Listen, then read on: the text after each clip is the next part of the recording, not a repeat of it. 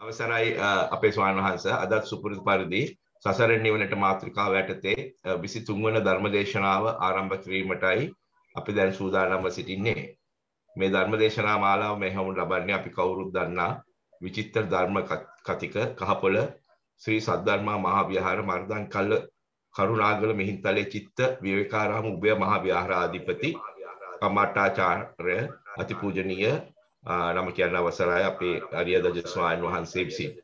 මා දැන් ඊතා ගෞරවයෙන් පාද නමස්කාරව ආරාධනා කර සිටිනවා ධර්ම මණ්ඩපයේ වැඩ සිටින අපේ ස්වා ලොකු ස්වාමීන් වහන්සේට මේ ධර්ම දේශනාව ආරම්භ කරන ලෙසට. සාදු සාදු සාදු. සාදු. සමන්ත චක්කවාලේසු අත්‍රා ගච්ඡන්තු දේවතා සද්ධම්මං මුනි රාජස්ස සුනන්තු සග්ග මොක්කදං ධම්මස්සවන කාලෝ අයං බදන්තා ධම්මස්සවන කාලෝ අයං බදන්තා ධම්මස්සවන කාලෝ අයං බදන්තා සාදු නමෝ තස්ස භගවතු අරහතෝ සම්මා සම්බුද්දස්ස. නමෝ තස්ස භගවතු අරහතෝ සම්මා සම්බුද්දස්ස. නමෝ තස්ස භගවතු අරහතෝ සම්මා සම්බුද්දස්ස. සාදු සාදු සද්ධා බුද්ධ සම්පන්න කාරුණික පින්වත්නි. සෝම් තාක්ෂණය ඔස්සේ සෑම සෙන්සුරාදා දිනකම ලංකාවේ වෙලාවෙන් සවස් 2:30ටත් මෙල්බන් වෙලාවෙන් රාත්‍රී 7ටත් ලෝකේ පුරා විසිරවා හරින ධර්මදේශනා මාලාව තවත් එක් ධර්ම දේශනාවක් ශ්‍රවණය කරන්නට පින්වත් සියලු දෙනාම සූදානම් වෙන්නේ. අපි පසුගිය සතියේ දේශනා කළේ සතිය පිළිබඳව සති සම්බෝධි අංගය පිළිබඳව දීර්ඝ විස්තරයක් කළා. ඉතින් ඒ තුලින් නැත්තන්ට පැහැදිලි වෙන්න ඕනේ මේ සතිය කියන ධර්මතාවය මොනතරම් පුළුල්ද මොනතරම් ගැඹුරුද ඒක දිනු කරගත යුතුම ධර්මතාවය නෙමෙයිද කියන කාරණය ඔයත්තන්ට පැහැදිලි වෙන්නට ඕනේ. අද දේශනා කරන්නේ ඒක දෙවෙනි අංගය. ධම්මවිච්චි සම්බෝධි අංගය. ධම්මවිච්චය කියන්නේ ප්‍රඥාව. සෝබන චෛතසික 25න් 25 වෙනි චෛතසිකය ප්‍රඥා චෛතසිකය. ප්‍රඥා චෛතසිකය විවිධ ආකාරයෙන් බුදුරජාණන් වහන්සේ දේශනා කරනවා. ප්‍රඥාව කියලා කියන්නේ විද්‍යාවට නමක්. අමෝහයට නමක්. ප්‍රඥාව කියලා කියන්නේ. ප්‍රඥාවෙන් කරන්නේ අරමුණ පිළිබඳව යථා ස්වභාවය. ඇත්ත ඇති සැටියෙන් අවබෝධ කරගන්නේ ප්‍රඥාවෙන්. අරමුණ හඳුනගන්නේ සංඥාවෙන්. අරමුණ දැනගන්නේ විඥාණයෙන්. රූපාරම්මන, ශබ්දාරම්මන, ගන්ධාරම්මන, රසාරම්මන, පොට්ටබ්බාරම්මන, ධම්මාරම්මන. මේ මොන ආරම්මණයක් ගත්තත් ඒ ආරම්මණය පිළිබඳව දැනගන්නේ විඥානෙ. අරමුණ හඳුනගන්නේ සංඥාවෙන්. අරමුණේ යථා ස්වභාවය දැනගන්න අවබෝධ කරගන්නේ ප්‍රඥාවෙන්. නිසා මේ ප්‍රඥාව පිළිබඳව දේශනා කරනවා නම් මුළු ධර්මස්කන්ධයම දේශනා කරන්න වෙනවා. ප්‍රඥාව පිළිබඳව දේශනා කරා. මුළු ධර්ම ස්කන්ධයම දේශනා කරන්න වෙනවා. ප්‍රඥාවේ අග්‍රත අගතන්පත් ලෞතර බුදුරජාණන් වහන්සේ. ප්‍රඥාවේ අග්‍ර එකයි මං කියව එක විද්‍යාවට නමක්. අමෝහයට නමක්. ප්‍රඥාව ආලෝකයක්. එයි මෝහ අන්ධකාරයෙන් මුදවන නිසා ප්‍රඥාව ආලෝකයක්. ප්‍රඥාව ඉර්ධිපාදයක්. ඡන්ද විරිය චිත්ත විමර්ශ කියලා ඉර්ධිපාද හතරක් තියෙනවා. ඒත් අහලා තියෙනවා යම් ආකාරයකට දාන්න. ඡන්ද විරිය චිත්ත විමර්ශ. විමර්ශ කියන්නේ ප්‍රඥාව. ඒක ඉර්ධිපාදයක්. ප්‍රඥාව බීජයක්. ජන්ම බීජයක්. පෙර භවයේ පෙර භවයේ විතරක් නෙමෙයි අතීත භව රාශියක අනන්ත ප්‍රමාණ අතීත භවවල ක්‍රමක්‍රමයෙන් ක්‍රමක්‍රමයෙන් ක්‍රමක්‍රමයෙන් විපුල බවට මහත් බවට පත් කරගෙන ආපු බීජයක් ප්‍රඥාව ප්‍රඥාව ධනයක් ධනයක්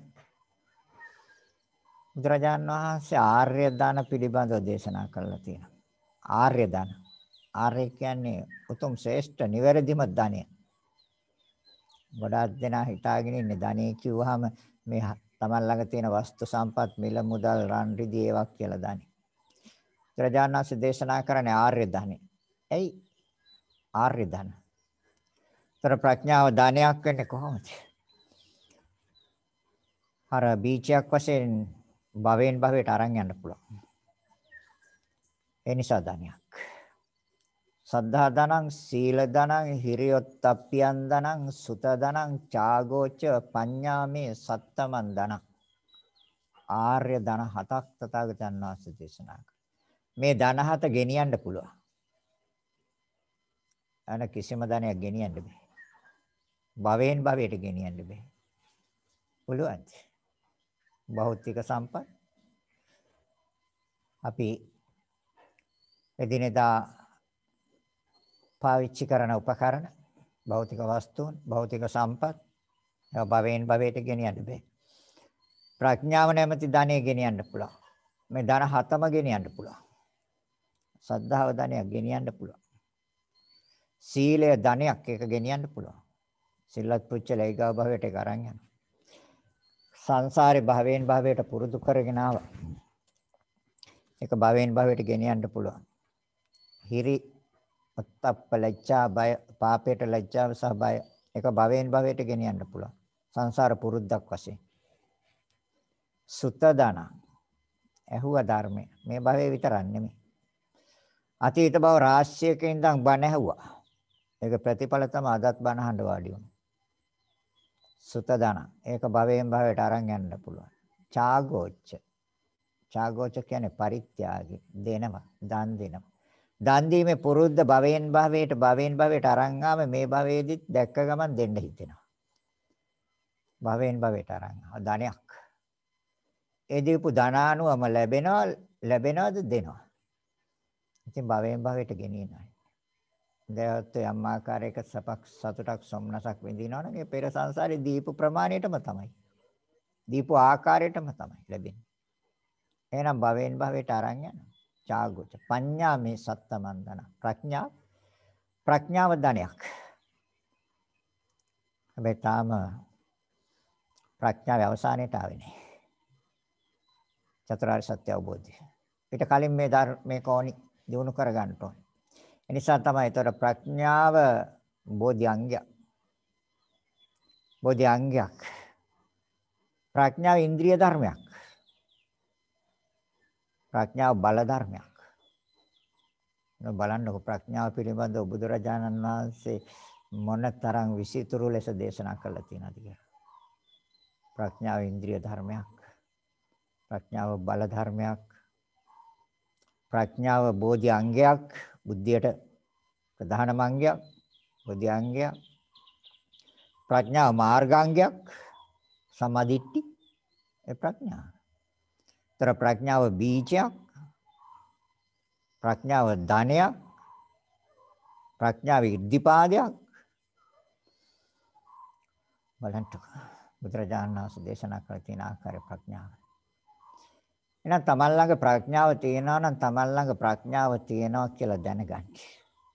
දැක ගන්න. චතුරාර්ය සත්‍ය ධර්මයට අවබෝධ චතුරාර්ය සත්‍ය ධර්මයේ අවබෝධයට සුදුසු ආකාරයට ප්‍රඥාව වැඩිලාද තමයි දැනගන්න දැක ගන්න. ඒ චතුරාර්ය සත්‍ය ධර්මයේ අවබෝධ කරගන්නට තරම් ප්‍රඥාව වැඩිලා නැත්නම් අනේ මට තාම නම් ඒ මට්ටමට ප්‍රඥාව වැඩිලා නැහැ කියලා දැනගන්න දැක ගන්න. නූපන් ප්‍රඥාව කොයි වෙලේ හරි වැඩෙනවා. ඒ නූපන් ප්‍රඥාව චතුරාර්ය සත්‍ය ධර්මය අවබෝධය සුදුසු ආකාරයට ප්‍රඥාව වැඩිලා නම් ඒක දැනගන්න දැක ගන්න. ඒක භාවනාවෙන් පරිපූර්ණද සම්පූර්ණද? ඒක දැනගන්න දැක ගන්න. එහෙනම් දැන් ප්‍රඥාව දැන් කොහොමද විස්තර කරන්නේ? විවිධ ආකාරයෙන් විස්තර කරන්න පුළුවන්.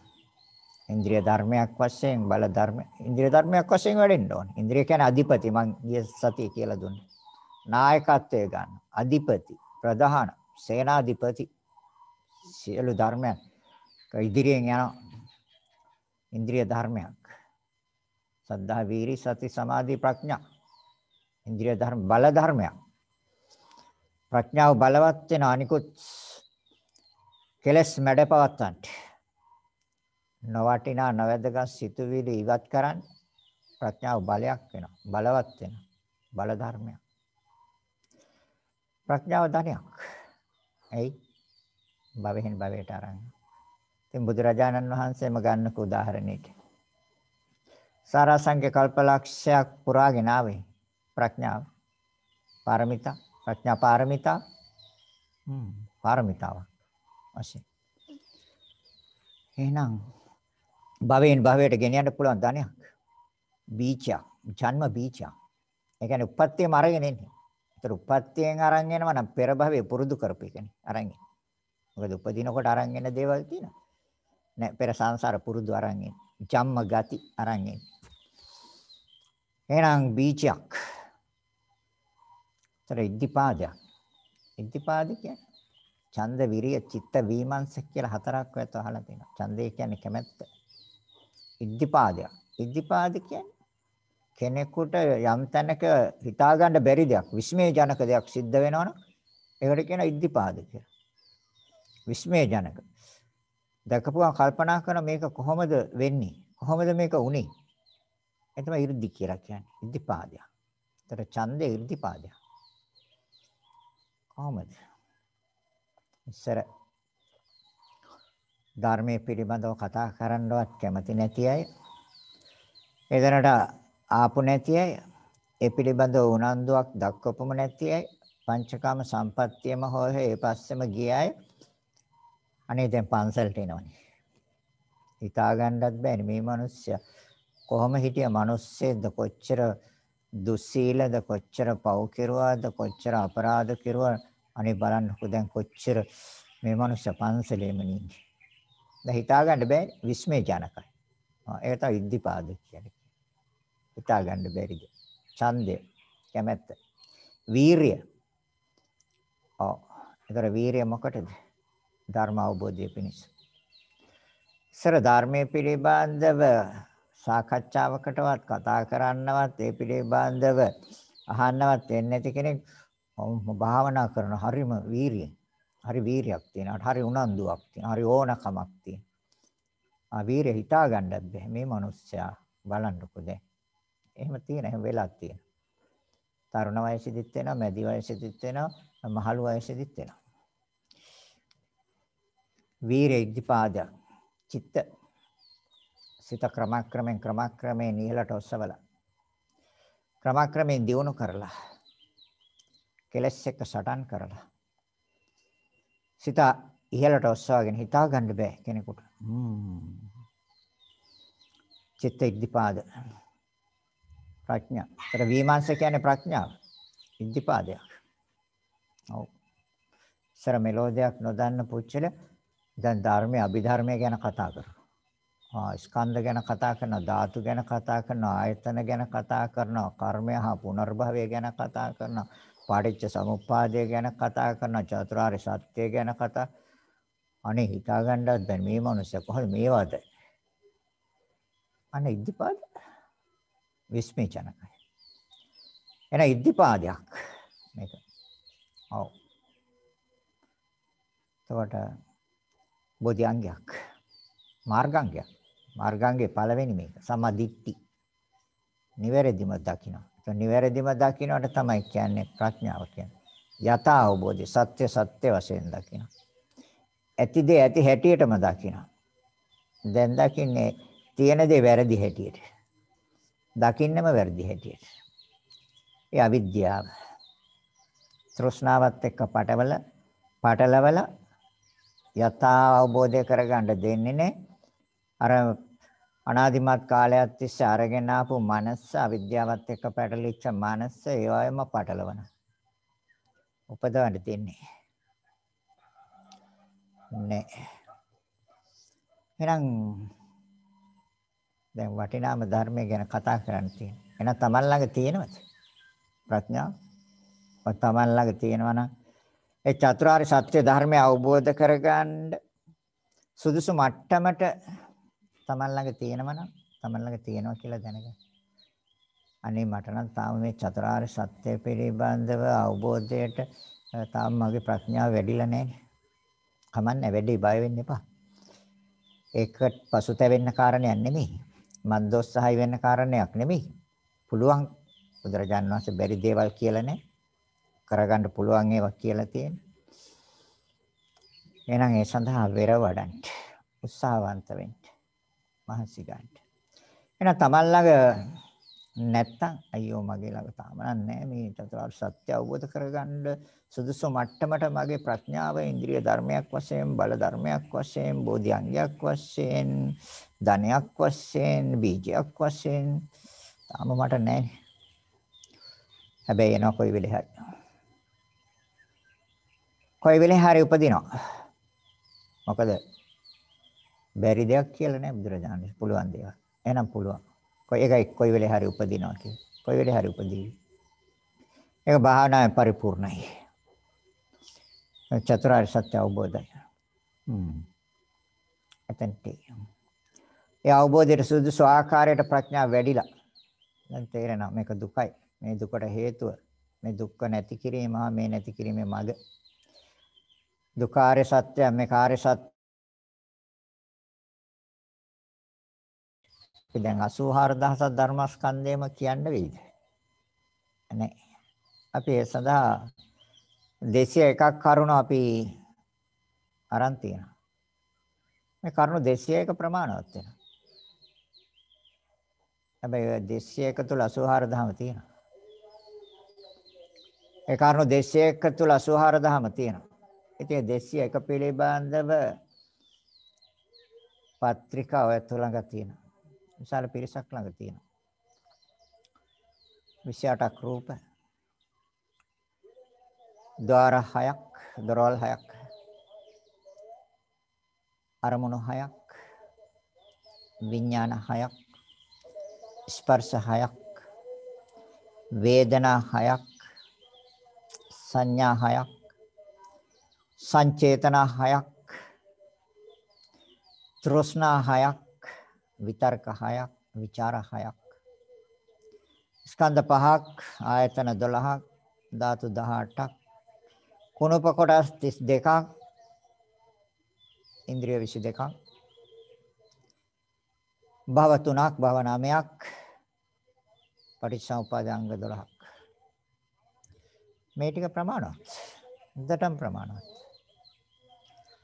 ප්‍රඥාව පහල කරගන්න මන අවබෝධයට අවශ්‍ය කරන ආකාරයට ප්‍රඥාව දියුණු කරගන්න මේ කරුණු ටික හොඳටම ප්‍රමාණවත්. එහෙනම් අපි එයින් එක එක එකින් එක එකින් එක අරගෙන බලමු. දැන් එක කරුණක් ගන්න අපි. චක්කු ප්‍රසාද රූපේ 28ක් රූප අතරින් ඉස්සෙල්ලාම තියෙන මහ භූත හතර. ඒතර මහා භූත පිළිබඳව එත දන්නවා. පඨවි ආපෝ තේජෝ වායෝ.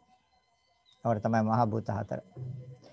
ඒ මහා භූත හතර නිසා පවතිනා උපාදාය රූප 24ක් තියෙනවා. අභිධර්ම ක්‍රමයෙන් කිව්වේ. ඒතර 4යි 24යි 28යි. එහෙනම් මහා භූත හතර පිළිබඳව කොහොමද ප්‍රඥාව? ඔත් මන් දන්නවා තද ගතිය. මන් දන්නවා දීර්ඝ ගතිය. මන් දන්නවා උෂ්ණත්වය, මන් දන්නවා වායුව. හරි. ඒ පිළිබඳව මට ගැටලුවක් නැහැ. මේ විශ්වයේ ක්‍රියාත්මක වෙන ධර්මතා හතරක් මේක. සත්‍ය වශයෙන් ක්‍රියාත්මක වෙන ධර්මතා හතරක්. හැබැයි ඇහැට දර්ශනය වෙන්නේ මනසට දර්ශනය වෙනවා. ඒතර ප්‍රඥාව වැඩෙන්නේ මනසේ. මනසේ වැඩෙන්නේ ප්‍රඥාව. එතකොට මම ඉස්සෙල්ලා කිව්වා විඥාණයෙන් දැනගන්නව, සංඥාවෙන් හඳුනා ගන්නව, ප්‍රඥාවෙන් අවබෝධ කරනවා. ඒතර දැන් අවබෝධ වෙන්න ඕනි කොහොමද? විඥාණයෙන් දැනගනි යම් උපකරණයක්. අපි කියමු ඔරලෝසුවක් කියලා. ඔව්. ඔරලෝසුව දැනගත්තා විඥාණය. ඒක ඔරලෝසුව. ඒකේ හැඩය, ඒකේ වර්ණය, ඒකේ ප්‍රමාණය හඳුනාගත්ත සංඥාවෙන්. හැබැයි එතන ප්‍රඥාව නෙයි. ඒතර ප්‍රඥාව කියන්නේ මොකක්ද? ඒකේ යථා ස්වභාවය දකින්න. මොකක්ද ඒකේ යථා ස්වභාවය? ඒකේ යථා ස්වභාවය තමයි ශක්තියින් හතරේ ක්‍රියාකාරීත්වය. හැබැයි අපි බලන්නේ ඔරලෝසුවේ කටු දෙක දිහා ආ දැන් වෙලාව 3යි. දැන් දාගත්ත සම්මුතියක්. හරි. ඒක සම්මුති ලෝකේ දැන් වෙලාව 3යි. ලංකාවේ වෙලා. දැන් විඥාණයෙන් අරමුණ දැනගත්තා. එතකොට ඒක රූපාරම්මණයක් විඥාණයෙන් දැනගත්තා. හඳුනාගත්තේ සංඥාවෙන්. ඒක ඒකේ වර්ණය. ඒක දුඹුරු පාට එකක්ද, ඒක රතු පාට එකක්ද, කහ පාට එකක්ද, ඒක හතරස් එකක්ද, රවුම් එකක්ද, බිත්තරේ හැඩය එකක්ද. ඒ ස්වභාවය හඳුනාගත්ත සංඥාවෙන්. මේ වර්ණයත් එක්ක. ඒ ස්වභාවයන් හඳුනාගත්ත සංඥාවෙන් හැබැයි ප්‍රඥාව එතනට දැවිලා නැහැ. ප්‍රඥාව කියන්නේ සතර මහා ධාතුන්ගේ ක්‍රියාකාරීත්වයක් නම් එතන තියෙන්නේ කියලා දැනග අවබෝධ කරගත්තා නම් ප්‍රඥාව. සම්බන්ධක විඥානයක් තියෙනවා සංඥාවක් තියෙනවා ප්‍රඥාව තියෙනවා. දැන් බලන්න ප්‍රඥාවට ආපුවාම මොකද්ද වෙන්නේ? ඇත්ත ඇති සැටියෙන් දැක්කා. සත්‍යදී සත්‍යදී හැටියට දැක්කා. යථාර්ථය දැක්කා. ඔව් ශක්තියන් හතරක ක්‍රියාවක් එතන තියෙනවා. අර බැටරි බලයෙන් එකේ කටු දුවන්නේ. එතකොට මේ බැටරි බලය එතන තියෙන්නේ පටවියාපොච්චේචෝ ආයෝ. ඒ කටු ගත්තත් පටවියාපොච්චේචෝ ආයෝ. ඉලක්කම් ටික ගත්තත් පටවියාපොච්චේචෝ ආයෝ.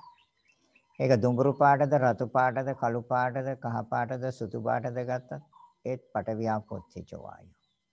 ඒක හතරස්ද රවුම්ද බිත්තරයක හැඩයේද මොන ආකාරයේද කියන ඒක ඒ සතර මහා ධාතු නේතු.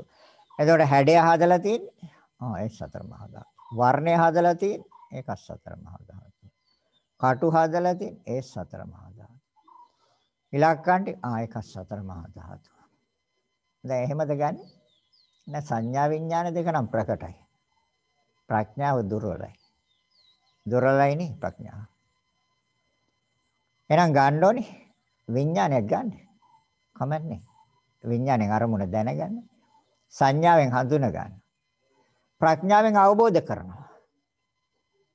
එතකොට බලන්නකො ප්‍රඥාව කියන තැනට ආපුවාම ඇලෙන සිතක් එයිද? ගැටෙන සිතක් එයිද? නැහැ. ඇලෙන සිතක් එන්නෙත් නැහැ, ගැටෙන සිතක් එන්නෙත් නැහැ. එහෙනම් ඒ ආරම්මණය පිළිබඳ. ඒතර ආරම්මණය ගන්න මූලික උනේ. ඒතර චක්කු ප්‍රසාද රූපේ. හ්ම්. චක්කු ප්‍රසාද රූපය මගේ අධ්‍යාත්මයේ මේ ඇස මැද්දේ තියෙන ඒක චක්කු ප්‍රසාද රූපය. හරි ඒක ඒකත් පඨවි ආපෝ තේජෝ වායෝ. ඔව් මහ භූත හතර.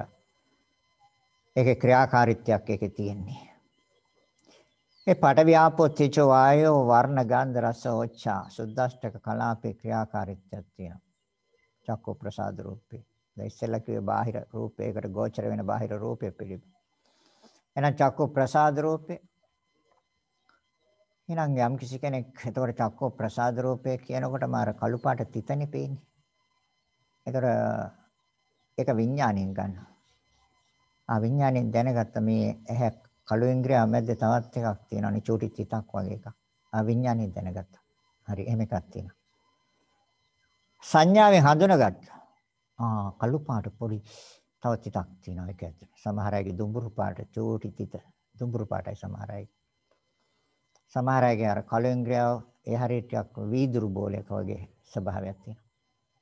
අසඤ්ඤාව. එතකොට ඒකේ හැඩය, ඒකේ ස්වභාවය ඒ සංඥාවෙන් ගන්නවා.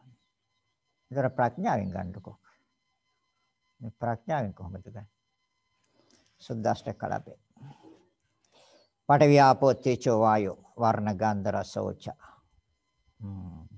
හරි. දැන් විඥානයක් දන්නවා සංඥාවක් දන්නවා ප්‍රඥාවක් දන්නවා. දැන් වැඩිපුර ක්‍රියාත්මක වෙන්නේ මොකක්ද? ප්‍රඥාව පැත්තක සංඥාවයි විඥානයයි නම් විඥානයයි සංඥාවයි නම් ක්‍රියාත්මකයි. ඒ දෙක ක්‍රියාත්මකයි. ප්‍රඥාව පැත්තක. ඒතර ප්‍රඥාව දියුණු කරගන්න ඕන ධර්මයක්. ඔව්. ප්‍රඥාවෙන් දැකගත් යථා අවබෝධය. ඒතර ප්‍රඥාවෙන් කරන්නේ යථා අවබෝධය. ඇත්ත ඇති සැටියෙන් පෙන්වලා දෙනවා. හ්ම්. ඊට පස්සේ අපි බලනවා හරි. දැන් මේක එක එක්කෙනාට වෙනස් නෙමෙයි. ඒ චක්ක ප්‍රසාද රූපේ කෙනෙකුට කෙනෙක් වෙනස්. දැන් අපි මේ ප්‍රඥාව දැන් ක්‍රමක්‍රමයෙන් දැන් ප්‍රඥාව ඉස්සෙල්ලා උපදවා ගත්තා එතන. ඔව් ශක්තියින් හතරක්. හරි. ඇත්ත දැක්කම හරි. ඊට පස්සේ බලන්න මේ කෙනෙකුට කෙනෙක්ගේ වෙනස් නෙමෙයි. චක්ක ප්‍රසාද රූපේ. ඔව් ඒ කියන්නේ පෙනීමේ ස්වභාවය වෙනස් කරලා ඉවලා තියෙනවා. පෙනීමේ ස්වභාවයන් උප්පත්තියම වෙනස් කරලා ඉවලා තියෙනවා. යම් යම් ආකාරයක් යන්තම් පෙන්නන කෙනෙකුට ඒ චක්ක ප්‍රසාදයට ඒ බාහිර රූප ගැටෙන යන්තම් ඒ ඡායාව සමහර කෙනෙකුට මධ්‍යම ප්‍රමාණයට සමහර කෙනෙකුට හොඳට ප්‍රනීතව ඒ බාහිර රූපය චක්ක ප්‍රසාද රූපය ගැටෙනවා ඒතොර චක්ක ප්‍රසාද රූපය හොඳ අති ප්‍රනීත විදිහට ඇවිල්ලා තියෙන යාට ආ තුන් දෙනෙක් ගත්ත තුන් විදිහට තියෙන දැන් හොයන හේතු එකට ඇයි එහෙම වුනේ මොකක්ද එහෙම වෙන්න හේතුව? එහෙම වෙන්න හේතුව තමයි පෙර භවයේ කර්මය. අන බුදුරජාණන් වහන්සේ දේශනා කරන කම්ම දායාදෝ. ඇස මහණෙනි ඔක කර්ම දායාදය. කර්මයෙන් ලැබිච්ච දෑවැද්දක් ඔක. දෑවැද්දට දුන්නා. ගිහින් පාවිච්චි කරන්න පරිහරණය කරන්න දුන්නේ දෑවැද්ද. ආ කම්ම දායාදෝ. එහෙනම් පෙර භවයේ කර්මයයිනේ. හ්ම් කර්මයට අනුරූපයි. අන්න ප්‍රඥාව දැන් තව ටිකක් දියුණුයි. කර්මයට අනුරූපවයි. ඊට පස්සේ තවත් හොයනවා අපි. අපි මේ ධර්මයේ දන්නම මේ ධර්මයේ දන්නේ හින්දා මම මේවා එකින් එක විස්තර කරන්නේ. ඔයත් ධර්මයේ දන්නවද? ඒතර කර්මයට හේතුවක් කර්මය නිකන් හට ගන්නවා. කර්ම කරන්නේ ඇයි මිනිස්සු? ඒතර කර්ම කියන්නේ මොනවද? කර්ම කියන්නේ සිත බලවත්. සිත යම් ආකාරයකට යම් තැනක යම් දෙයක් පිළිබඳව බලවත් වෙනවා නම් ඒකට කියනවා කර්ම චේතනාවවත් කර්ම. සිත බලවත්. ඒක තණ්හා උපාදාන. තෘෂ්ණාව කියන්නේ ඇලෙනවා උපාදානය කියන්නේ තදින් ග්‍රහණය කරනවා. ඒතරේ අවිද්‍යාව නිසා තණ්හා උපාදාන වලට ඉඩ දීලා තියෙන යනවා කර්ම කරනවා. එහෙනම් අවිද්‍යාව. මූල ධර්මය අවිද්‍යාව. තවත් තියනවාද? ඔව්. අවිද්‍යාවටත් හේතුවක් තියෙනවා. අවිද්‍යාව මොකද්ද? එහෙනම් අවිද්‍යාවට හේතුව ආශ්‍රව. කාමාශ්‍රව, භවආශ්‍රව, ditthi ආශ්‍රව. හරි. ආශ්‍රව කියන්නේ චන්දරාගය. හරි. ඒතර දැන් ඇහි අපි ආ හරි. ඒතකොට දැන් අපි තවත් බලනවා. දැන් මේක දැන් බුදුරජාණන් වහන්සේ සත්‍ය හතරක් අවබෝධය සඳහා නෙමෙයි ප්‍රඥාව අවශ්‍යයි කියන්නේ. සත්‍ය හතරක්. ලෝකේ නවනස් වෙන සත්‍ය හතරක් තියෙනවා. ඒ දුක්ඛාරය සත්‍ය, දුක්ඛ සමුදාය සත්‍ය, දුක්ඛ නිරෝධාරය සත්‍ය, දුක්ඛ නිරෝධගාමිනී ප්‍රතිපදාරය සත්‍ය. එහෙනම් චක්කු ප්‍රසාද රූපය අපි හොයනවා. හැබැයි මේ මේ විදිහට හොයාගෙන යන්න නම් හොඳට නොවිසරණ සිතක් ඕනේ. ඒකත් මුලින් මතක තියාගන්න. මම ඒකයි ඒ ගැන ඉස්සෙල්ලා කිව්වේ. සතිය ගැන කිව්වනේ කලින්. නොවිසරණ සිත දිනු කරගත්ත සිහිය, මන සිහිය, හොඳ සිහිය, මන නුවණ, සතිය යෝනිස මනසිකාරය. ආ එහෙනම් අපි බලනවා එතකොට මේ චක්කු ප්‍රසාද රූපය දුක්ඛාරය සත්‍යයට අයිතිද? ඔව්. කොහොමද අයිති වෙන්නේ දුක්ඛාරය සත්‍යයට? එයි. ඔගේ තියෙනවා සංකත ස්වභාවයක්. සංతాප ස්වභාවයක්. විපරිණාම ස්වභාවයක් හා පීඩන ස්වභාවයක් තියෙනවා. බලන්න පොඩ්ඩක් ඒ චක්ක ප්‍රසාද රූපේ තියෙන පීඩන ස්වභාවය. පීඩනයක් ඇති කරනවා නිරන්තරයෙන්. ඇහැ පොඩි කරනවා. ඇහැ පොඩි කරලා බලනවා. යම් යම් වෙලාවක ඇහැට මාක් හරි දෙයක් රොඩක් හරි ගියොත් ඒක ලොකු වදයක්, ලොකු පීඩනයක්. ඒතර ක්‍රමක්‍රමයෙන් ඔක දුර්වල වීම නිසා ඔක වෙනස් වීම නිසා අපිට ඇති වෙන ශෝකයක්, කනගාටුවක්, හැඬීමක් මානසික දෝමනස්යක් එනවා. පෙනීම අඩු වීම, දුර්වල වීම. ඒකට යම් ආබාධයක් ඇති වුණා. එහෙනම් මේකේ තියෙනනේ පීඩන ස්වභාවයක් නිරන්තරයෙන් පීඩනයක් ඇති කරනවා. ඒතර පීඩනයක් ඇති කරන්නේ කොහොමද? අර සතර මහා ධාතුන්ගේ ආයුෂ ආ චිතක්ෂණ 17යි නේ ආයුෂනේ. චිතක්ෂණ 17ක් තුල ඇති වෙලා නැති වෙනානේ. එතකොට චිතක්ෂණයක් 17ක් උපරිම 17ක් තුල ඇති වෙලා නැති වෙනකොට පීඩනයක් නේ තියෙන්නේ නිරන්තරයෙන්. නිරන්තරයෙන් පීඩනයක් ඇති කරනවා. පිළීමක් ඇති කරනවා. ඒ ධාතුන්ගේ පිළීමක් තියෙනවා, පීඩනයක් තියෙනවා. ඇසේ නෙමෙයි ධාතුන්ගේ තියෙන. ඒතර පිළීම හා පීඩාවක් කියන්නේ දුකක් නේ. જાතියෙන් පෙළනවා. ඒ කම්ම චිත්ත ඍතු ආහාර කියන ප්‍රත්‍ය හතරෙන් නැවත නැවත නැවත නැවත හදනවනේ. ඒතර જાතියෙන් පෙළනවනේ. ಜಾති කියන්නේ පහළ වෙනවා, සකස් වෙනවා, හට ගන්නවා. නැවත නැවත නැවත නැවත. ජරාවෙන් පෙළනවා. ඒ ක්‍රමක්‍රමෙන් දිරීමට නෑ. චිත්තක්ෂණ 17යි එකෙන් දෙකක් ගියාම ඒක උපාදයට ඉති බංග වශයෙන් 17 තුන 51යි එකෙන් උපාදයට එකයි බංගයට එකයි ගියාම 49යි 49 තුර ජරා ව්‍යාධි බිඳිලා අවසන් වෙනවා මරණ ඒ අනුව ශෝක කනගාටු හැඬීම් වැළපීම් ඔය ඇස නිසා එහෙම නැත්නම් ඔය චක්කු ප්‍රසාද රූපය නිසා ඒ චක්කු ප්‍රසාද රූපයෙන් නැමැති සතර මහා ධාතුන්ගේ ක්‍රියාකාරීත්වය නිසා අතීතේ මොනතරම් ඇඬුවද? ඒ කියන්නේ පෙර භවවල ඇස නැතුව ඉපදිලා මොනතරම් ඇඬුවද? ජීවිත කාලෙම ඇඬුවේ නැද්ද? අන්ධ වෙලා හිටියේ නෑම කියලා හිතනවාද? අනන්ත අප්‍රමාණ වෙලා තියෙනවා. භවයන් නෙමෙයි දෙකක් නෙමෙයි සිය දහස් ගණක් වෙලා තියෙනවා. අන්ධය වෙලා ඉපදිලා තියෙන අපි සෑම කෙනෙක්ම. බාගෙට පෙනීම ඇතුව ඒ චක්කු ප්‍රදා ප්‍රසාද රූපේ සතර මහා ධාතුන්ගේ ඒ ක්‍රියාකාරීත්වයේ තියෙන අඩ වශයෙන් අඩක් භාග්‍යයි. ඒ අනුව අනන්ත ප්‍රමාණ ශෝක වෙලා කනගාටු වෙලා හැඬීම් දුක්ඛ දෝමනස නැවිලා නැද්ද ඔකේ? ඔය සතර මහා ධාතුන්ගේ පෙරලීම්. එහෙනම් ඒ පීඩන ස්වභාවයක් තියනවද? නිරන්තරයෙන්. ජරා ව්‍යාධි. ඒතකොට බිඳිලා අවසන් වෙනවා. අර චිතක්ෂණ කුඩා චිතක්ෂණ 49ක් තුළ බිඳිලා අවසන් වෙනවා. මරණ. ඒ වෙනුවෙන් ශෝක, කනගාටු, හැඬීම්, දුක්ඛ දෝමනස්යන් ඔයාට මොනතරම් බෙහෙත් දාලාද? මේ භවයේ දාගන්න නැති. ඇස් රෝග හැදුණා. අර කාලයක් තිබ්බේ. ලෙඩ හැදිලා ඇස් ලෙඩ කියලා. අල්ලපු ගෙදරටවත් යන්නේ නැහැ. පාරේ මිනිස්සෙක් හම්බුන නෑදෑ කෙනෙක්වත් අහක බලාගෙන යන ඇස් ලෙඩ එහෙම තියෙනවා. අඳුරන්නේ නැති විදිහට. දෝමනස් ඇති වෙන්නේ නැද්ද සිතට? දුක්ඛ දෝමනස්ය. නවට මොනතරම් බෙහෙත් දාලාද? දැනුත් කන්නඩි පාවිච්චි කරනවා. ඒක තමන්ගේ කැමැත්ත හැටියට පුල් තියන්න පුළුවන් කන්නඩි මොකටද? ඕනේ දැන් දුක්ඛ දෝමනස්යන්නේ සතර මහා ධාතුන්ගේ පීඩන ස්වභාවය නිසා නෙමෙයිද? පීඩන ස්වභාවයක් තියෙනවා. පිළීමක් නිරන්තරයෙන් තියෙනවා පීඩන ස්වභාවයක්. සංකත ස්වභාවයක් තියෙනවා. සංකතයික හේතු ප්‍රත්‍යයෙන් හටගන්නේ. ද හේතු ප්‍රත්‍යයෙන් නේද හටගන්නේ.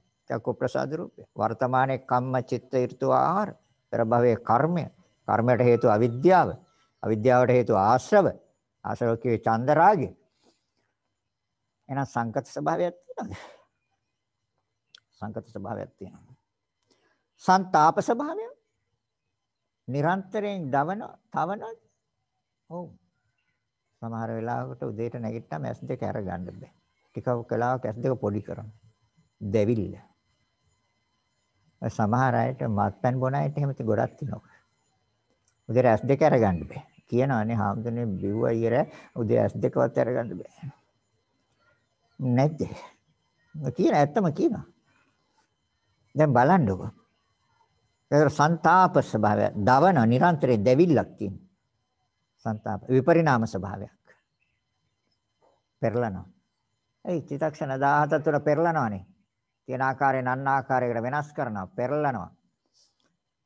එහෙනම් තියනවද? චතුර්විධ දුක්ඛ ස්වභාවය? ඒක එහෙනම් ආයිති දුක්ඛාරය සත්‍යයටනේ. ඒ සැපේට දාන්නේ ඔක. ඇයි ඔකට සොම්නස? ඇයි ඔයට චන්දරාගය? ප්‍රඥාව වැඩිලා නැහැ. ප්‍රඥාව නැහැ නේ තාම. ඒ නිසානේ චන්දරාගය. ඒ නිසානේ කැමැත්තෙන් අල්ලන් ඉන්නේ. ඒ නිසානේ කැමැත්තෙන් බැඳිලා ඉන්නේ. මගේ ඇහැ. ආ මගේ ඇහැ. මේ කාගේද එතකොට ඇහැ? අර ප්‍රසාද රූපේ චක්කු ප්‍රසාද රූපේ කාගේද? දැන් බලන්නකො. දැන් ඔකේ ඥාන ටිකත් උපදවාගෙනම ගිය හැකි ඉතින් ඔතනින් යනවා දිගට. දැන් ඔය කිව්වේ ප්‍රඥාව දැන් ක්‍රමක්‍රමයෙන් ක්‍රමක්‍රමයෙන් යම් මට්ටමකට ගන්න ආකාරය තවත් තියෙනවා. ගන්න. දැන් අර චිතක්ෂණ 17ක් තුල සතර මහා ධාතුන් ඉපද බින්දිනවා. ඉපද බින්දිනවා. ඇති වෙනව නැති වෙනව. දැන් ඔතන කර්මයට අනුරූපව දැක්කා. කර්මයයි මේක සිද්ධ වෙන ආකාරය දැක්කා. එතකොට මෙච්චර වෙලා චක්කු ප්‍රසාද රූපේ පිළිබඳව මෙහෙව මෙහෙවි ඒ පිළිබඳව දැනගත්තේ ඒ පිළිබඳව දැකගත්තේ කොහෙන්ද? මනසින්. මනස කියන්නේ සිත විඥානය. අරමුණ දැනගත්තා. විඥානය හඳුනාගත්ත සංඥාවෙන්. ආ මේක සිතුවිලි වලටයි තියෙන්නේ. ඒක නාම ධර්මයන් ඒක නාම ධර්මයක්. ඒතර තක්ක ප්‍රසාද රූපය කියන්නේ සතර මහා ධාතු කියන්නේ රූප ධර්මයක්. ආ නාම රූප දෙකක් නෙමේ මෙතන ක්‍රියාත්මක වෙන්නේ. දැන් එතන තවත් ඥානයක් උපදිනවා. දැන් මෙච්චර වෙලා විභාග කරපු ඥානෙ සම්මර්ෂණ ඥානෙ. දැන් තේරුගත්ත මේ නාම රූප දෙකක්. මේ නාමයෙන් මේ සිතින් මේ විඥානේ. ඒතර විඥානය කියන්නේ නාම ධර්මයක්. අඳුනගත්ත සංඥාවෙන්. ඒතකොට ඒක නාම ධර්මයක්. මේ පිළිබඳව මට චන්දරාගයේ ආසාව ඇල්ම එහෙම තවත් තියෙනවා නම් එතන සිත බලවත්. ඒතර චේතනා, ලෝභ චේතනා ତර සංස්කාරය. ආයව සිතුවිලි විතරයි.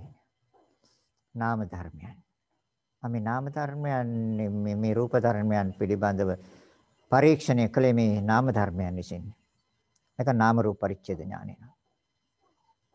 මම බලන්න මේ ඥාන ටිකේන හැටි. ඊට පස්සේ බලන තවත් දුරට. බෑ හොඳට මතක තියාගන්න අර සතිය කියන එක දිනු නම් විතරයි මේ විදිහට බලන්න පුළුවන් නැත්නම් බලන්න බෑ කීයටවත් මේ විදිහට. ඔය විදිහට එකක් බලනකොට යයි සිත වෙන කොහේ හරි. බලන්න ගන්නකොට. පොඩ්ඩක් වෙලා පටවි ආපෝ තේජෝ වායු කියනකොට යයි වෙන කොහේ හරි සිත. කරන්න තියෙන වැඩක් කරපු වැඩක් එහෙම නැත්නම් රටේ ලෝකේ වෙන දෙයක් ඒව ඔළුවට දාගෙන තියෙන්නේ. ඒවා ගොඩක් ඔළුවට දාගත්තොත් මේ ධර්මය දකින්න බෑ. ප්‍රඥාව වෙන්නේ. සංඥා විඥාන දෙකේ හිටිය ගෝන තරම්. ඉන්න සංඥා විඥාන දෙකේ. හැබැයි සංඥා විඥාන ඒතර විඥාන සංඥා දෙකේ හිටියාම වැඩෙන්නේ මොනවද කියලා හොඳට හොයලා බලන්න සංස්කාරයි වැඩෙන්නේ. වැඩෙන්නේ සංස්කාර. එහෙනම් එතනදි දකින්න නාම රූප දෙකක්. ආ නාම රූප පරිච්ඡේද ඥානය. මේ චිතක්ෂණ 17ක් තුළ මේ සතර මහා ධාතුන්ගේ හැඩේ වෙනස් කරනවානේ. ඉපද බින්දිනවානේ. අර කම්ම චිත්ත ඍතු ආහාර කියන ප්‍රත්‍ය හතරෙන් නිරන්තරයෙන් සහයෝගී ඒ සහයෝගයෙන් සෙනෙහ සෙනෙහ සෙනෙහ පාසා ඇති කරනව නැති කරනව. ඇති වෙනව නැති වෙනව. හට ගන්නව හට ගන්න සෙනෙන් බින්දිනවා. ආ ඉපද බින්දීමක් තියෙනවා.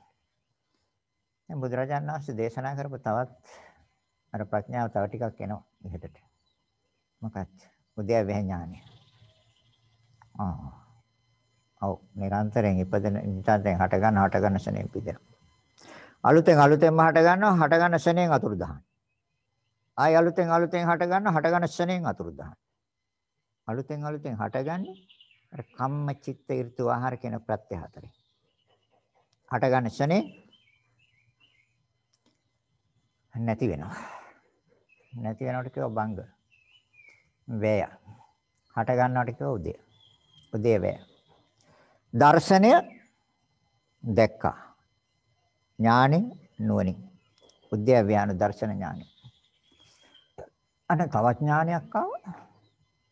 සම්මර්ෂණ ඥානය මම හොඳට විභාග කරගෙන ගියා පරීක්ෂා කරගෙන ගියා හොයාගෙන ගියා. මගේ සිත බාහිරට යන්නේ නැහැ මට මොකද මම සතිය දිනු කරන් ආවේ මෙතනට. මට සතිය දැන් හොඳට තියෙනවා. සතිය වැඩිලා තියෙනවා. මන අවබෝධයට අවශ්‍ය කරන ආකාරයට සිහිය මට දැන් වැඩිලා තියෙනවා. මම ගිය සතියේ කිව්වා ඒ පිළිබඳ. එහෙනම් දැන් එතකොට පේනවා.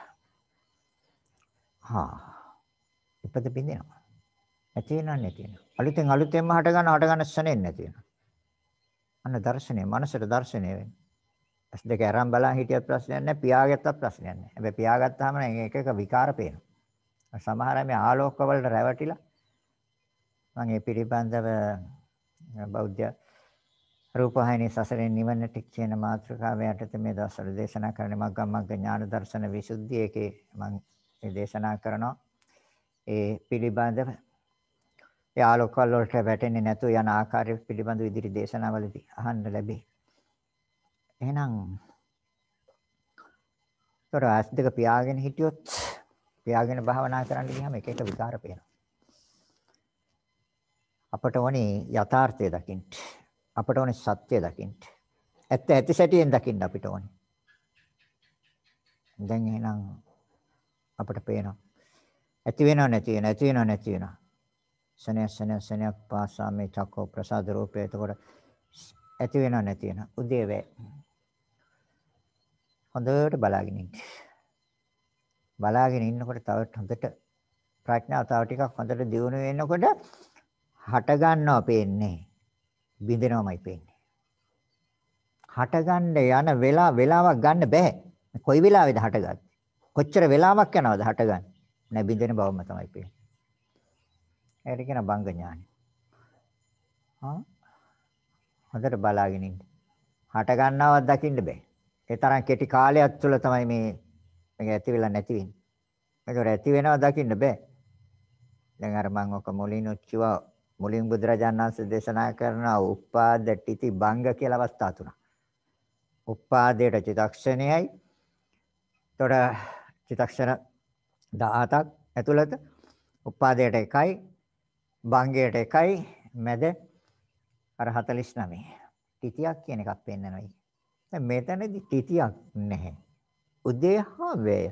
ඇති වෙනව නැති වෙනව. ඔක හොඳට දවසක් හෝ දෙකක් හෝ පැය කීපයක් හොඳට බලාගෙන ඉන්නකොට උදයත් අයින් වෙනවා. උදේ කියන එකත් අයින් වෙනවා. හට ගන්නවා බලන්න බෑ මනසින් අල්ලන්න බෑ මනසට අහුවෙන්නේ නැහැ. ඒ තරම් අතිශය වේගෙන් සිද්ධ වෙනවා. අතිශය වේගෙන් සිද්ධ වෙන්නේ ක්‍රියාව. ඒතොර පේන්නේ භංගිය. කොහෙද හට ගන්න හට ගන්න නැති ඉවරයි. පළවෙනි සිතෙන් විදර්ශනා කරන්න බෑ. හටගත්ත සිත ඇති වෙලා නැති වෙලා ඉවරයි. ඒ සිත විදර්ශනා කරනවා නම් ඊගාවට එන සිතෙන් ඕනේ විදර්ශනා කරන්න. ඒ සිත විදර්ශනා කරන්න හදනකොට ඊග ඒ සිත ඇති වෙලා නැති වෙලා ඉවරයි. තුන්වෙනි සිතෙන් ඕනේ විදර්ශනා කරන්න. බලන්න පුළුවන්ද කියලා අල්ලන්න. පළවෙනි ඇති වෙලා නැති වෙලා සිත බලන්න බලන්න තියෙන දෙවෙනි සිතෙන්. දෙවෙනි සිතෙන් බලන්න හදනකොට ඒ සිත නැති වෙලා ඉවරයි. තුන්වෙනි සිතෙන් බලන්න හදනවා. තුන්වෙනි එතකොට තුන්වෙනි සිත ඇතිලා නැතිලා ඉවරයි. අන්න එතනදී බංග බංගේ පෙනේ. බංග කියන්නේ නැති වෙනවම තමයි පේන්නේ. එතකොට නැති වෙන්නේ මොකක්ද? චක්කු ප්‍රසාද රූපයක් නෙමෙයි. එයි එහෙම එකක් නැහැ. චක්කු ප්‍රසාදයේ රූපය කියලා ඔකට නමක් දැන් මේ සම්මුතිය. ඔබ තේරුම් ගන්න ඕන හින්දා. අර ක්‍රියාව තියෙන සතර මහා ධාතුන්ගේ සුද්දාෂ්ට කලාපේ ක්‍රියාව. බංගය කල්පනා කරා මේ මොකද්ද මේක? මේකෙන් ඇති වැඩේ මොකද්ද? බය වෙනවා. බය වෙනවා. බයක් ඇති වෙන්නේ. මේක කොහොමද මං හදන්න හදන්නේ? කොහොමද මම මේක තියාගන්නේ? කොහොමද මම මේක අරගෙන යන්නේ? ගෙනියන්න බෑනේ. හදන්නත් බෑනේ. Tamanට ඕන විදිහට මොන විදිහටවත් තියන්න බෑ. ඒ හට ගන්න ශනේ නැති වෙනවා. ආ බංගෙම පේනවා. එතකොට එන්නේ බයක්. බයක් එන්නේ. මේ ස්කන්ධ ඒ කියන්නේ දැන් කතා කරන්නේ අපි රූපස්කන්ධයක ධර්මතාවයක් ගැනයි කතා කරන්නේ. එහෙනම් ඒ පිළිබඳව ඇති වෙන්නේ බයක් ඇති වෙනවා. අයියෝ මේක මොකටද මම තවදුරටත් අරන් යන්නේ? මේක තවදුරටත් ගෙනියලා වැඩක් තියනවද? එයි හට ගන්න ශරණෙන් නැති වෙලා ඉවරයි. භංගය පේනවා. ඒකට කියන භංග ඥානය. ඒතර මේ භංගය දැකපු ගමන් එන්නේ ඊගාවට එන්නේ බයක්. බයතුපත්ඨාන. බයතුපත්ඨාන. අන්න බය කියන එක උපන්න. ඒ එන්නේ සංසාර බය. ඒ එන්නේ සසර බය. ඊගා භවයට ගියත් මේ විදිහටම තමයි මේක වෙන්නේ. බයතුපත්ඨාන ඥානය. ඊට පස්සේ එනවා ඒකේ ආදීනවයන් නෙපෙන්නේ. ඒකේ ගන්න මොනවද තියෙන්නේ? හරයක් තියෙනවද ඒකේ ගන්න? ඒ සතර මහා චක්කෝ ප්‍රසාද රූපේ නැමැති ධර්මතාවී මට ගන්න මොකක්ද තියෙන්නේ? ප්‍රයෝජනවත්යක් තියෙනවද? අර්ථවත්යක් තියෙනවද? අරන් තියාගන්න පුළුවන් දෙයක් තියෙනවද? නෑනේ මොහොතක්වත් තියාගන්න බැරි ඔක අරන් තියාගන්න. මොහොතක් රඳව ගන්න බැරි ඒවා. අරන් තියාගන්න. එබ්බේ. ආදීනවයක් දකින්නේ. ආදීනවයක් දකින්නේ. වැඩක් නෑ මේක. මොකටද? අන්න ඒ අනුව තමයි චන්දරාගය අයින් වෙන්නේ නැත්තම් ඔය හැට තියෙන චන්දරාගය කීයටවත් අයින් කරන්නේ ඒක නිසා තමයි බුදුරජාණන් වහන්සේ දේශනා කරන්නේ අවබෝධය තුල අයින් වෙයි. ඈත් වෙයි ඕකෙන්. මනස අයින් කරගනි. එම නැති තාකල් අයින් කරගන්න කැමති වෙන්නේ. ඇසට චන්දරාගය තියෙනවමයි. චක්කෝ ප්‍රසාද රූපේට චන්දරාගය තියෙනවමයි. ඉතින් චක්කෝ ප්‍රසාද රූපේට චන්දරාගය තියෙනවා නම් ඡන්දේ කියන්නේ කැමැත්ත රාගය කියන්නේ ඇලෙනවා. චන්දරාගය තියාගෙන කොහෙද නිවන දකින්නේ? නිවන් දකින්න බෑ. හේතුඵල දැක්කා. ඔව්. ඒකයි මම සෝවන් වෙන්න පුළුවන්. ගැටලුවක් නැහැ. හේතුඵල දැක්කා. හේතුන්ගෙන්ම තමයි හටගත්තේ. අර චතුර්විධ දුක්ඛ ස්වභාවයන් තියෙනවා, පීඩන ස්වභාවයක් තියෙනවා, සංකත ස්වභාවයක් තියෙනවා, ਸੰతాප ස්වභාවයක් තියෙනවා, විපරිණාම ස්වභාවයන් තියෙනවා. ඒ පිළිබඳව මන අවබෝධයක් වෙනවා. ඒ චතුර්විධ දුක්ඛ ස්වභාවයන්. ඒතර දුක කියන එක ආර්ය සත්‍යයක් කියන එක තමයි වැටහෙනවා. ඒතර පරීක්ෂා කරලා බලපුවාම චන්දරාගය නිසා තමයි මේක සිද්ධ වෙන්නේ. මේ චතුර්විධ දුක්ඛ ස්වභාවයන්ට මට මුහුණ දෙන්න සිද්ධ වෙලා තියෙන මේ චන්දරාගය නිසා. ආ ඒ තෘෂ්ණාව. ආ හේතුව. ආ මම හේතුවත් හොයාගත්තා. මම හේතුව අල්ලගත්තා. ආ දුක කියන එකත් මම දැක්කා. ඒතර දැන් මම හේතුව අයින් කරන්න ඕනේ. යම් මට්ටමකට එනවා. හැබැයි අර අර පිළිවෙලට ඥාන ටික උපදවා ගත්තොත් විතරයි සහ මුලින් චන්දරාගය අයින් කරන්නේ නැත්නම් අයින් කරන්නේ නැහැ. එතකොට හේතුඵල දැක්කා. හේතුන්ගෙන්මයි තමයි සකස් වෙන්නේ. කර්මය, අවිද්‍යාව, ආශ්‍රව අන්න හේතු දැක්කා.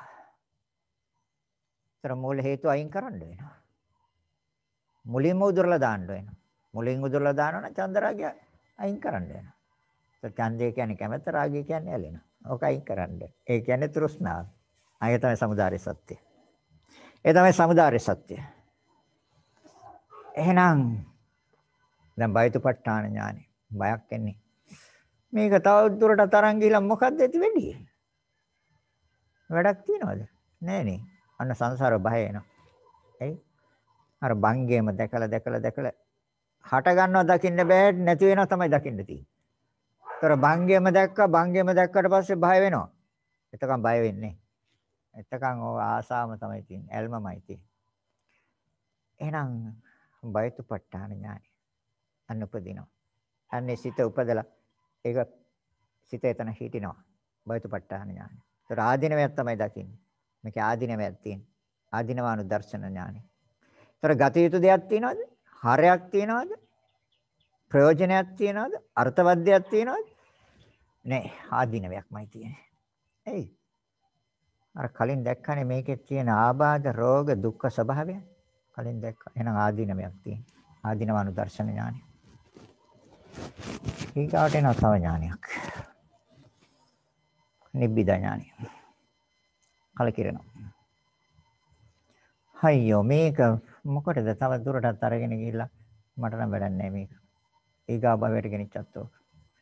තිරසනෙක් වෙලා තිරසනාට ලැබුණත් ඒකටත් තියෙන චක්කු ප්‍රසාද රූපය බලන්න කොහොඳට ළඟට අරගෙන කළු ඉන්ද්‍රියා මැද්ද චූටි තිතක් නැද්ද කියලා.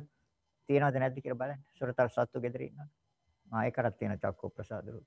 දැන් එතනට ගිහිල්ලා එකක් හම්බුනොත් හොඳයි. ධර්මය අවබෝධ නොකර ගන්න නොකර ඉන්න තාක්කල් එහෙම වෙනවා. එහෙම වෙනවා. ප්‍රේතය ඔව්. ඒ ප්‍රේතය එහෙම දැකලා නැහැ නේ. ඔක දැක ගන්න විදියක් නැහැ නේ. ප්‍රේතෙක් මේ මේ තාක්ෂණය මෙච්චර දියුණුයි ලෝකයේ මොනතරම් දියුණුද විද්‍යාව දියුණුයි තාක්ෂණය දියුණුයි. මේ ප්‍රේතෙක් බලන්න ටෙලස්කෝප් එකක් එහෙම නැත්නම් දොර දක්න කන්නඩියක් හදන්නේ. සූක්ෂම දේවල් අති සූක්ෂම දේවල් බලන්න. අන්න ප්‍රේතේ දැක්කදාට තමයි එහෙම නැත්නම් ඒකට බුදුරජාණන් වහන්සේ ওই තාක්ෂණය ඕනේ අභිඥා උපදවාගෙන බැලුවා. වික්ෂුන් වහන්සේලා රහතන් වහන්සේලා දැක්කා ප්‍රේතයෝ. ඒවට තියෙන චක්කු ප්‍රසද්ද රූපය. රතුම රතු පාට දොඹ ගෙඩියක් විතර මාස් ගුලියක් දැක්කහම බය වෙන්නේ. ඔය අක්කුන්ගේ රූපෙ එහෙම තියෙන. හරිද? ඒකට තියෙන චක්කු ප්‍රසාද රූපය. දෙවියන්ටත් තියෙනවා. රූපාවචර බ්‍රහ්ම ලෝකේ බ්‍රහ්මයන්ටත් තියෙනවා. ඒ පංචස්කන්ධෙම තියෙනවා. අරූප තලවල නම් නාමස්කන්ධයක් විතරයි. එහෙනම් දැන් එතකොට නිබ්බිදා. දැන් කොහෙටද මේක අරගෙන ගිහිල්ලා ඇති ප්‍රයෝජනේ? තිරසන් ලෝකෙට ගිහින් ඔක අරන් ගිහිල්ලා ප්‍රයෝජනයක් තියනවද? අතර අපායට අපෝ කතා කරන්නවත් එපා කේ ගැන. මේ පැත්ත ගැන කතා කරන්න. ඔය කතා කරන්න ඕනෙත් නෑ. අපි කතා කරන්නේ ධර්මයේ ගැන. ධර්මයේ ගැන අපි කතා කරන්නේ. හැබැයි අවබෝධ නොකර හිටියොත් යන්න වෙනවා. අටමහා නිරය යන්න වෙනවා. එහෙනම් මනුස්ස ලෝකේ දිව්‍ය ලෝකේ තියෙනවා. දැන් අරන් ගිහිල්ලා මොකද්ද වෙන්නේ? කොතන ගියත් ඔක මොකද්ද වෙන්නේ? අර චතුර්විධ දුක්ඛ ස්වභාවයන්, තර විපරිණාම ස්වභාවයන්, සංකත ස්වභාවයන්, සංతాප ස්වභාවයන්, පීඩන ස්වභාවයන්. එහෙනම් නිබ්බිදා ඥානය කලකිරීම. දැන් කලකිරීමේ ඥානය ආවද? කලකිරීමේ ඥානය ආවනම් ඔය සුදු පාට රතු පාට රෝස පාට ඇඳුම් ඇඳගෙන ඉන්නේ. බුදුරජාණන් වහන්සේගේ වස්ත්‍රය බොහොම ආසාවෙන් අරගෙන හිස මුදුනින් තියාගෙන පෙරවගන්නේ ඔක. දෝතින් අරගෙන හිස මුදුනින් තියාගෙන තමයි ඉන්නේ. අනේ හාමුදුරනේ මාව මහාන උපසම්පදා කරගෙන. දැන් තාම එහෙම හිතුන්නේ නැහැ නේද? හැබැයි කල්පනා කරනවා. කල්පනා කරනවා. හැබැයි කල්පනා කරන්නේ ගොඩාක් දෙනා වැඩි දෙනෙක් කල්පනා කරන්නේ භව තණ්හාවේ. අනේ ඊගව භවය මොකක් හරි හදාගන්න හොඳ තැනක් හදාගන්න ඕනේ. දැන් නම් ඉන්නවා ලෝකේ තැන් තැන් වල උසස් තැන් වල ඉන්නවා. අපි ඉන්නේ ඕස්ට්‍රේලියාවේ අපි ඉන්නේ ඇමරිකාවේ අපි ඉන්නේ එංගලන්තේ අපි ඉන්නේ කැනඩාවේ. අපිට ගැටලුවක් නැහැ අපිට සල්ලිත් තියෙනවා ඕනේ තරම්. අපිට කොහෙ ගියත් අපිට ඔය ඉඩමක් අරගෙන හොඳ ගියක් දොරක් හදාගෙන අපිට ඉන්න පුළුවන්. දැන් ඒක කවුද ඉන්නේ? එහෙර දැන් මැරෙන්නේ? දැන් දිනයක් ස්ථානයක් වෙලාවක් ආකාරයක් එහෙම අර සල්ලි වලින් වෙන් කරගෙන තියෙනත් නෑ වල්ලන්න නම් මල් ශාලාවට සල්ලි බැඳලා වෙන් කරගන්න පුළුවන්. හැබැයි මේ දවස්වල ඒකක් කරන්න බෑ. කොවිඩ් හැදුනොත් ඒ රජෙන් ඒකත් කරන්නේ. එද්දේ. එහෙනම් දිනයක් ස්ථානයක් ආකාරයක් වෙලාවක් තියෙන මරණයට. සල්ලි වලින් කරන්න පුළුවන්. නිබ්බිදා ඒ තිබ්බත් වැඩන්නේ කරන්නේ මොකද්ද? අර සතර මහා ධාතුන්ගේ ක්‍රියාවටනේ තියෙන්නේ සේම. එහෙනම් උදේ සම්මර්ෂණ ඥානය නාම රූප පරිච්ඡේද ඥානය උද්‍යව්‍ය ඥානය බංගානු දර්ශන ඥානය බංගයම දකින්නා වූ ඥානය බංගානු දර්ශන ඥානය. ආදීනවානු දර්ශන ඥානය. දැන් මේ ඥාන කීයක් විතර ඇවිල්ලා තියෙනවද? ධර්මදේශනාවේ මේ 23 වෙනි එක නේ. මම හිතන්නේ දැන් ගොඩක් දුර එන්න ඕනේ ඇවිල්ලා ඇති කියලා එන්න ඕනේ ඉතින් නැත්තම් මොකද්ද අපි බණ කියනවා ඒකත් ඔබ බණ අහනවා මොනවාකට වෙලා නැත්තම් මොකද්ද වෙන්නේ දැන් අපිට ඊගාව භවයටත් එන්න වෙනවා කටියට බණ කියන්නේ.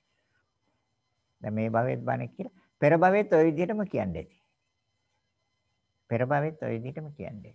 මේ භවයේ බෑ අනේ නාර ගියසරේ මට මතකයි ගිය පාර එක්කෙනෙක් කවුද නෝන කෙනෙක් කතා කරලා කිව්වා අනේ හාමුදුරනේ මේ ගිහි ජීවිතේ නම් හරි අමාරුයිනේ ඔක වැඩේ කරන්නේ. ඉතින් ඔක පෙර භවෙත් කිව්වනේ. ගිහි ජීවිතේ අමාරුයි කියලා පෙර භවෙත් කිව්වා. ඔන්න හොඳට කල්පනා කරලා බලන්න. මතක නැහැ දැන්. ඒකයි වෙලා තියෙන්නේ. ඊට ඉස්සෙල්ලා භවෙත් කිව්වා. ඇයි? ආ ඒ භවෙත් ඒ විදිහටම කිව්වා. අනේ හරි අමාරුනේ ගිහි ජීවිතේ මේ කරන්නේ. ඉතින් දැන් ඊගා භවයට ගිහලා ඕකමද කියන්නේ? ඔය ඊගා භවයට ගිහලා ඕකම කියන්නේ. අනේ හරි අමාරුයි මේ භවෙත්. හැමදාම සසරේ නේද? හැමදාම සසරේ. එහෙනම් නිබ්බිදා ඥානය කලකිරීමෙන් නිගවට ආධිනවානු දර්ශන ඥානයට පස්සේ එන්නේ නිබ්බිදා ඥානය. එතකොට දැන් කලකිරලා නැහැ තාම. අවබෝධය තුල කලකිරෙනවා. දර්ශනය තුල කලකිරෙනවා. නිවැරදිව දැකීම තුල කලකිරෙනවා. ප්‍රඥාව ඉන්ද්‍රිය ධර්මයක් හැටියට වැඩුණාද? බල ධර්මයක් හැටියට වැඩුණාද? බෝධි අංගයක් හැටියට වැඩුණාද? ධනයක් හැටියට තේරුම් ගත්තද? ඉර්ධි පාදයක් හැටියට වැඩුවද? බීජයක් හැටියට සංසාරේ භවයෙන් භවයට ඥානත් එක්ක අරගෙන ඇවිල්ලා තියෙනවද? බීජයක් හැටියට. එහෙනම් මේ විදිහට ප්‍රඥාව හැබැයි දැන් ප්‍රඥාව තියෙනවා කට්ටියට. නැත්තම් බණහඬ වාඩි වෙන්නේ නැහැ. ප්‍රඥාව හදා ගන්න ඕන හරි කියලා හිතාගෙන තමයි බණහඬ වාඩි වෙන්නේ මම දන්නවා. පැහැදිලිව. එහෙනම් ඊගාවට එන්නේ දැන් නිබ්බිද කලකිරලා නැහැ තා. මේ නාම රූප දෙකේ කලකිරීමක් ඕනි. සමහර අය මහාන වෙන්න එනවා නෝනත් එක්ක රණ්ඩු වෙලා මහත් එනවා භාවනා භාවනා වැඩසටහන යන්නේ ආමුදුනේ මට නම් කලකිරලා තියෙන්නේ ගෙදර මොහොතක්වත් ඉඳ හිතෙන්නේ පුදුම වදයක් තියෙන ළමයින් ගැනුයි නෝනා ගැනුයි අහල පහල ඉන්න ඇත්ත ඒ වගේ පුදුම වදයක් තියෙන මට නම් ජීවිතේ එපා වෙලා තියෙන්නේ මේ මම පොඩ්ඩක් මෙහෙ නැවතිලා පොඩ්ඩක් මම භාවනා කරන්න හිතනවාද භාවනා කරන්න පුළුවන් කියලා බෑ ඇයි මනස තියෙන්නේ ඒ විකාරවල පැටලිලා තියෙන්නේ එහෙනම් කලකිරෙන්න ඕනේ කොහෙද? නෝනා ගැනද? මහත්තයා ගැනද? දරුවන් ගැනද? සහෝදර සහෝදරයන් ගැනද? ඥාතීන් ගැනද? කා ගැනද කලකිරෙන්න ඕනේ? මොන ධර්මතාවයන් ගැනද කලකිරෙන්න ඕනේ? මේ ස්කන්ධ පංචකය ගැන. මේකේ යථා ස්වභාවය තේරුම් අරගෙනයි කලකිරෙන්නේ. නිවැරදිව කලකිරෙන්නේ එතන. අන්න නිබ්බිදඥාය. කලකිරනවා.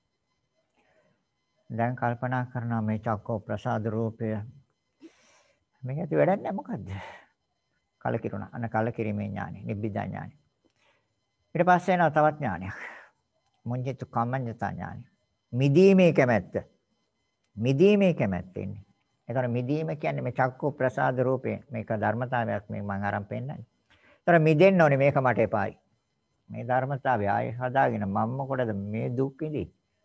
පීඩන නිරන්තරයෙන් පීඩනයක් ඇති කරනවා. මේක හේතුන්ගෙන්මයි හටගන්නේ. මේක නිරන්තරයෙන් දැවිල්ලක් තැවිල්ලක් තියෙන්නේ. මහ වදයක්. ඒ වගේම ශණයක් ශණයක් පාස පෙරලනවා. විපරිණාම ධර්මයක් තියෙනවා. නිරන්තරයෙන් චතුර්විධ දුක්ඛ ස්වභාවයක් තියෙනවා. මට මොකටද මේක? මිදීමේ කැමැත්තක් ඇති වෙනවා. මුඤ්ඤතු කමංචතා ඥාන දැන් එහෙම ආවද? තාම නැද්ද? දැන් ඔය කියාගෙන ආපු ඥානවල අනුපිළිවෙලට එන්නේ අනුපිළිවෙලට එන්න ඕනේ.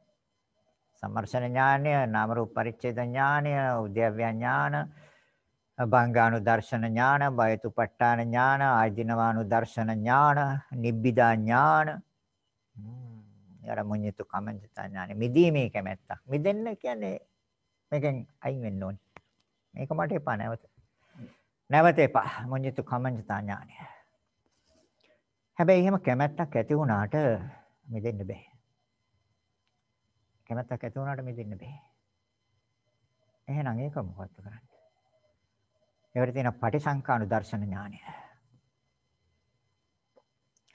ඒකට උපායක් ඕනේ මිදෙන්න.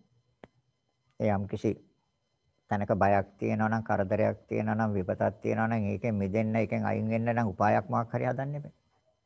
උපායක් හදාගන්න එපා. යන්න එතනින් අයින් වෙන්න බැහැර වෙන්න ඉවත් වෙන්න. උපාය මොකක්ද? මේ විශ්වයේ ක්‍රියාත්මක වෙන නිවැරදි ධර්මතා තුනක් තියෙනවා. ඒ පිළිබඳව මන අවබෝධය. ඒක තමයි උපාය. අනිත්‍ය, දුක්ඛ, අනාත්ම. නැද්ද මුෂ්‍ය? මුළු විශ්වයේම නාම රූප දෙකේම තියෙන අනිත්‍ය, දුක්ඛ, අනාත්ම ස්වභාවය. අන්න උපාය. අනිත්‍ය වශයෙන්ම දකිනවා. දුක්ඛ වශයෙන්ම දකිනවා. අනාත්ම වශයෙන්ම දකිනවා. ඒක තමයි උපාය. මිදීමේ උපාය. නැත්තම් මෙදෙන්නේ. කීයටවත් මෙදෙන්නේ. ආයෙ අල්ල ගන්න. ආයෙ අල්ල ගන්න. බණ ඇහුවා හොඳට බණ අහලා නැගිට මේක නම් අතහරින්න ඕනේ තමයි හරියන්නේ. අහුවදාට ගම වටේ නගරයේ වටේ නැත්නම් කොහරි රවුමක් ගියාම නැත්නම් ගෙදර කට්ටියත් එක්ක විනෝද ගමනක් ගියාම ට්‍රිප් එකක් ගිහිල්ලා ආපම අර ඔක්කොම ඉවරයි. මිදීමේ කැමැත්ත ඔක්කොම ඉවරයි. සංකාරපේක්ෂා ඒ සම්මර්ෂණ ඥානයත් නැහැ නාම රූප පරිච්ඡේද ඥානයත් නැහැ උද්‍යව්‍ය ඥානයත් නැහැ මොනවාක්වත් නැහැ අර ආස්වාදය සතුට සොම්නස වින්දනේ හොඳට දවසක් හරි දෙකක් හරි තුනක් හරි හොසතියක් හරි ඔය ගිහිල්ලා හොඳට ඇවිදලා ඇවිදලා ඇවිදලා හොඳට. දැන් වින්දලා ආපුවාම මොකක්ද වෙලා තියෙන්නේ? කලකිරීම ඉවරයි දැන් එතන එයි. සිහිය පීඨවල නැහැ. ඒකයි සතිය ගැන ඉස්සෙල්ලා කිව්වේ. මේ බෝධි අංග වලින් ඉස්සලාම අරගත්තේ සිහිය කියන එක සතිය කියන එක බුදුරජාණන් වහන්සේ දේශනා කළේ ඒකයි. මම ඒක ගිය සතිය කියලා දුන්නා. හ්ම් එහෙනම් දැන් උපාය දැන් උපායක් හැදුවා මොකද්ද? ඒතර දැන් අනිත්‍ය ස්වභාවයක් තියෙනවද නැද්ද මේ චක්ක ප්‍රසාද රූපේ? හ්ම්. චක්ක ප්‍රසාද රූපේ තියෙන අනිත්‍ය ස්වභාවය. දුක්ඛ ස්වභාවයක් නෙමෙයිද තියෙන්නේ? අර සතර ආකාරයේ දුක්ඛ ස්වභාවය. චතුර්විධ දුක්ඛ ස්වභාවය. පීඩන ස්වභාවය, සංකත ස්වභාවය, සන්ත හේතුන්ගෙම හදන්න ඕන. නැත්නම් හදන්න බෑ. සංతాප ස්වභාවය, විපරිණාම ස්වභාවය. එහෙනම් එහෙනම් තියනවද චතුර්විධ දුක්ඛ ස්වභාවය? ඔව්. අන්න නිවැරදිව. ඒතර අනිත්‍ය අනිත්‍ය ලක්ෂණයක් තියනවද මේකේ? එයි අනිත්‍ය ලක්ෂණය. චිත්තක්ෂණ 17ක් තුළ සියල්ල ඇති කළ නැති කළ දාන. එහෙනම් නිට්ටයද අනිත්‍යද? අර පීඩන ස්වභාවය, සංකත, ਸੰతాප, විපරිණාම ස්වභාවය, දුක්ඛ ස්වභාවය නෙමෙයිද? තමන්ගේ කැමැත්ත හැටියටද සිද්ධ වෙන්නේ? චක්කෝ ප්‍රසාද රූපේ තමන්ගේ කැමැත්ත හැටියටද සිද්ධ වෙන්නේ? බාහිර කෙනෙක්ගේ කැමැත්ත හැටියටද සිද්ධ වෙන්නේ? මගේ චක්කෝ ප්‍රසාදේ බාහිර කෙනෙක්ගේ කැමැත්ත හැටියට හදන්න පුළුවන්. අර චිතක්ෂණ 17ක් තුළ ඉපද බින්දෙන එක නවත්තලා දෙන්න කියන්නේ. බාහිර කෙනෙකුට. නෝනට පුළුවන් ද මහත්යාගේ චක්කෝ ප්‍රසාද රූපය චිතක්ෂණ 17ක් තුළ ඉපද බින්දෙන එක නවත්තන්න?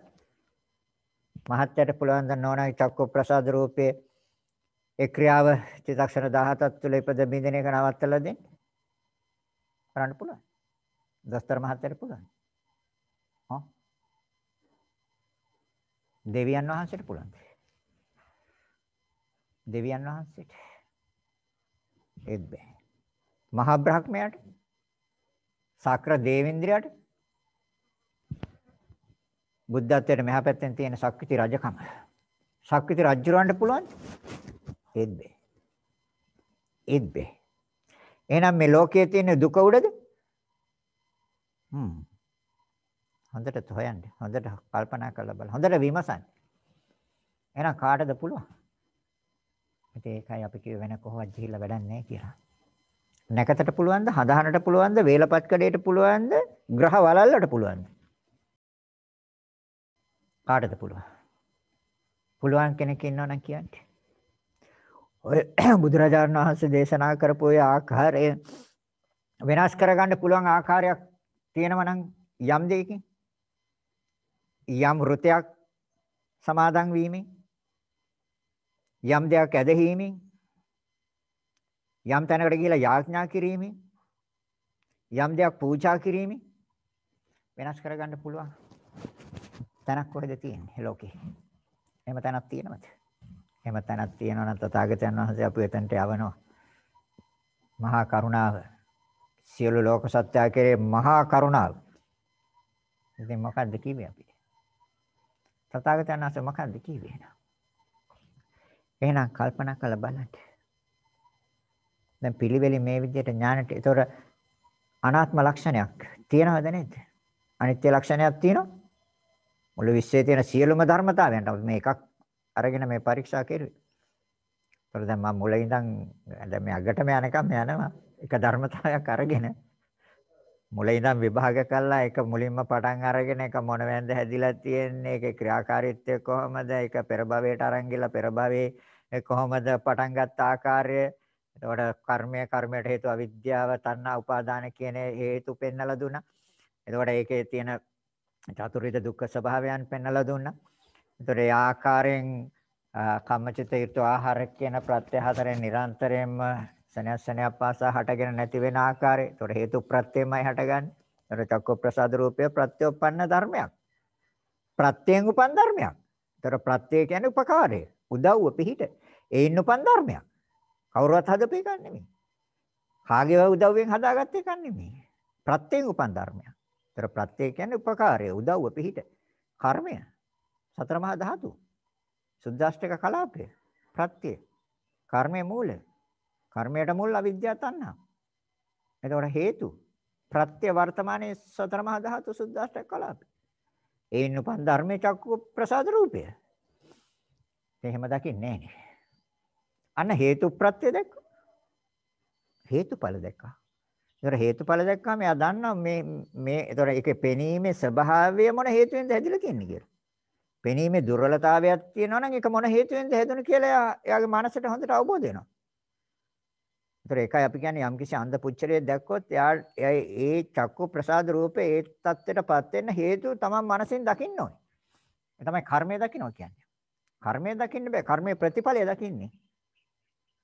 කර්මයේ විශේෂයෙන් සකස් කරලා දුන්න අපිට ප්‍රතිඵල බලන්න පුළුවන්. කර්මය දර්ශනය කරන කර්මය මනසට අල්ලගන්න මනසෙන් අල්ලගත යුතු ධර්මයක්. කර්මය. එහෙනම් තොරන්ද පුච්චලේ. ඒතර සතර මහා ධාතුන්ගේ විකෘතිතාවය. ඒතර හේතුන්ගෙන් නෙමෙයිද? හේතුන්ගෙන්. ඒතර යම් ආකාරයකට යන්තම් පෙන්නනවනේ. ඒකත් හේතු ප්‍රත්‍ය. ප්‍රත්‍යෝපන්න. ඒතර ඒ චක්කු ප්‍රසාද රූපයත් හේතු ප්‍රත්‍ය ප්‍රත්‍යෝපන්න. ප්‍රත්‍යයෙන් උපන්න. ඒ කියන්නේ උපකාරයෙන් උපන්න ධර්මයක්. ඒතර උපකාරය තමයි වර්තමානයේ අර සුද්දාස්තක කලාපේ. මූල ධර්මය කර්මයයි. ඒ හේතු. ඒතර ඒ කර්මයට හේතුව අවිද්‍යාවයි තණ්හාවයි උපාදානයි. ඒතර ඒ මූල ධර්මයන්. ඒතර මූල ධර්මයන්ට කිව්වේ හේතු කියලා. ප්‍රත්‍ය ධර්මය, ඒ උපකාර ධර්මය. ඒ සුද්දාස්තක කලාපේ. ඒන් උපන් ධර්මය. ප්‍රණීතයි. හොඳට පේනවා. ඉතින් බලන්නකො කල්පනා කරලා. ඒතර දෙවියන් වහන්සේ මැව්වා කියලා සහතික ගන්න පුළුවන්ද කයෙන් හරි? කවුද දෙන්නේ? මහා බ්‍රහ්මයාගේ නිර්මාණය ඉබේ හටගත්තා. දැන් හේතු ප්‍රත්‍යය. හේතු ප්‍රත්‍යය. අත ඒකයි මං කිව්වේ. අර ඊයසරේත් නෝන කිව්වනේ නිවන් දකින්න නම් බෑ මේ ආත්මේ කියලා. ඒ කියන්නේ මං කිව්වේ චොල්ල සෝතාපන්න වුණොත් ඇති කියලා නේ. ඔව්. දැන් ඒකනේ හේතුඵල දකින්න. හැබැයි මේ විදිහට ඥාන ටික අනුපිළිවෙලින් උපදවාගෙන උපදවාගෙන දැන් ඊගාට තියෙන තව එක ඥානය සංස්කාර උපේක්ෂා ඥානය. එහෙනම් දැන් එතනට ආවේ නැහැ නේද? සංකාර උපේක්ෂා ඥානය. ඒ කියන්නේ චත්‍ර මද්දතා කියලා කියනවා. ඒතර මේ පිළිබඳව චන්දරාගය අයින් කරලා තියෙන්නේ. ඒතර මේක අනිත්‍ය දුක්ඛ අනාත්ම වශයෙන් එක තමයි උපාය. වෙන උපායක් නැහැ මිදින්නේ. මෙතෙන්ට තියෙනවා නියත වශයෙන්ම අනිත්‍ය දුක්ඛ අනාත්ම වශයෙන්ම මෙනෙහි කරන්න ඕනේ. අනිත්‍ය වශයෙන් මෙනෙහි කරන්න ඕනේ. දුක්ඛ වශයෙන් මෙනෙහි කරන්න ඕනේ. අනාත්ම වශයෙන්ම මෙනෙහි කරන්න ඕනේ. එහෙනම් අනිත්‍ය වශයෙන් දුක්ඛ වශයෙන් අනාත්ම වශයෙන් මෙනෙහි කරන්න කරන්න කරන්න කරන්න. දැන් ඔබ හර ලස්සනට බුදුරජාණන් වහන්සේ දේශනා කරා. යම් කිසි කෙනෙක් චුල්ලසෝතාපන්න වෙනවනම් එයත් නියත වශයෙන්ම අනිත්‍ය දුක්ඛ අනාත්ම වශයෙන් මෙනෙහි කරන්නම ඕනේ. හේතු ප්‍රත්‍ය දැක්කට විතරක් හේතු ප්‍රත්‍ය අවබෝධය චුල්ලසෝතාපන්නයි. ඒතර යා ඒ හේතු හදන්නේ ඊට පස්සේ ඒකයි. එයා දන්නවා ප්‍රාණඝාතය අකුසලයේ විපාකය මනසින් දකිනවා යම් කිසි කෙනෙක් අඩු වයසෙන් මැරෙනවා දකිනකොට ඒ මරණය පිළිබඳව අඬන්නේ ශෝක වෙන්නේ කනගාටු වෙන්නේ දුක් වෙන්නේ එයා දන්නවා මේ හේතුවෙන් තමයි මේ ඵලය මෙයා ලැබුවේ මේ මේ ප්‍රතිඵලය මෙයා භුක්ති විඳින්නේ පෙර භවයේ නැත්නම් සංසාරේ කරගත් ඒ භවයක කරගත්ත ප්‍රතිඵලයක් මේ භුක්ති විඳින්න කියලා. එතකොට එයා ඒ හේතුව හදන්නේ ඒ හේතුව හදන්නේ නැත්නම් එයා ප්‍රාණඝාතයෙන් වළකිනවා. එයා ප්‍රාණඝාතය කරන්නේ ඇයි? එයා මනසින් දකිනවා ඒකේ ප්‍රතිඵලය, කර්මයේ ප්‍රතිඵලය. අඩු වයසෙන් මැරෙනවා. ତර මව කුසේදී මැරෙනවා, බිහි වෙනකොට මැරෙනවා. සතියෙන් මැරෙනවා, මාසෙන් මැරෙනවා, තුන් මාසෙන්, හය මාසෙන්, අවුරුද්දෙන් මැරෙනවා. ඒතර එයා දකිනවා. ධර්මය අවබෝධ කරගත්ත පුච්චලයා හේතුව හා ඵලය දකිනවා. යම් කිසි කෙනෙක් අදත්තාදානය කළා තියෙනවනේ ඒකේ ඵලයත් එයා දකිනවා. බුදුරජාණන් වහන්සේ දේශනා කළේ අංග විකලයි කියලා. අනුසතු වස්තුන් හොරෙන් ගන්නවා. ඒතර උපදින්න ඕනේ නිරේ බැරි වෙලාවත් මනුස්ස ලෝකයට ආවොත් අංග විකලයි. ඒතර අංග විකල පුච්චලියෝ අම්මයි තාත්තයි අතපය හතර හොඳට තියෙනවා. දරුවා අංග විකලයි. නැද්ද කියලා බලන්නකො ගෙවල් වල. මෙහෙ විතරක් නෙවෙයි දියුණු රටවල් වල කියන්නේ ඒ- ඒ රටවල් වලත් ඒ ගෙවල් වල ඉන්නවා. අංග විකලයි. එහෙනම් එයා දකිනවා හේතුව. හරි මෙයා මේ හේතුව මේ ප්‍රතිඵලය මේ භුක්ති විඳින්නේ මෙයා. මෙයා පෙර භවයේ. ඒතර අම්මට තාත්තා ඉන්ද්‍රියන් හොඳට තියෙනවා. මෙයාගේ අම්මා තාත්තා හොඳට ඉන්නවානේ. මේ දරුවා අංග විකලයි. ඒතර එයා ඒ ඵලය තුලින් එයා දකින්නේ මනසින් දකින්නේ කර්මයයි. ඒතර පෙර භවයේ මෙයා මේ විදිහේ කර්මයක් කරලා තියෙනවා. ඒක ප්‍රතිඵලයයි මේ භුක්ති විඳින්නේ. මං නම් ඔකට අහුවෙන්නේ නැහැ. මං ඔකට ගෑවෙන්නේ නැහැ. මම දන්නා මම කරා නම් මටත් ওই ප්‍රතිඵලයේ භුක්ති විඳින්න වෙනවා. ඊගා භවයේ විතරක් නෙවෙයි භව කීයක් විඳින්න වෙයිද දන්නේ. භව කීයක් විඳින්න වෙයිද දන්නේ.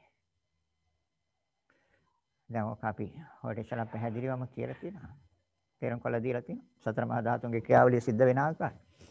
එහෙනම් යම් කිසි කෙනෙක් නපුංසක වෙලා ඉපදිලා ඉන්නවනම් ස්ත්‍රීත්වයටත් නැහැ පුරුෂ භාවයටත් නැහැ ස්ත්‍රී භාවයටත් නැතුව යම් කිසි ලෝකේ අනන්ත අප්‍රමාණ ඉන්නවා. ඒතකොට ඒ පුච්චලිය දැක්කම යලකාගේ යාලා කතා විලාසේ පිරිමි වස්ත්‍ර අඳින්නේ ඒ උනට කතා කරන්නේ ස්ත්‍රී හඩක් තියෙන්නේ. ස්ත්‍රියක් වගේ කතා කරන්නේ. හැසිරෙන්නේ ස්ත්‍රියක් වගේ. ඔයත් දකින අනන්ත අප්‍රමාණ සමාජය යනවා. ඒතකොට මේ අයලා කවුද කියලා ඔයත් දන්නවා. ඒතකොට අර කර්මය හේතුඵල දන්න පුච්චලයා එයා දන්නා මෙයා මක් කළාද මේ මේ ප්‍රතිඵලය මෙයා භුක්ති විඳින්නේ කියලා. පෙරබවේ කාමයේ වර්ධ හැසිරීමේ ඵලය මේ භුක්ති විඳින්නේ කියලා. එයා හොඳටම මනසින් දකිනවා. ඒතකොට එයා කර්මය මනසින් දකිනවා අර ප්‍රතිඵලය ඇහෙන් දකිනවා. ඒ අනුව එයා දන්නවා මං නම් ඔකට අහුවෙන්නේ නැහැ. මං ගෑවෙන්නේ නැහැ. ඔකට මං දන්නවා මම ඔක කරුවොත් මටත් ඊගා භවයේ ඕක තමයි විඳින්න වෙන්නේ. මම මොකටද ඔහොම විඳින්නේ? වලකිනවා.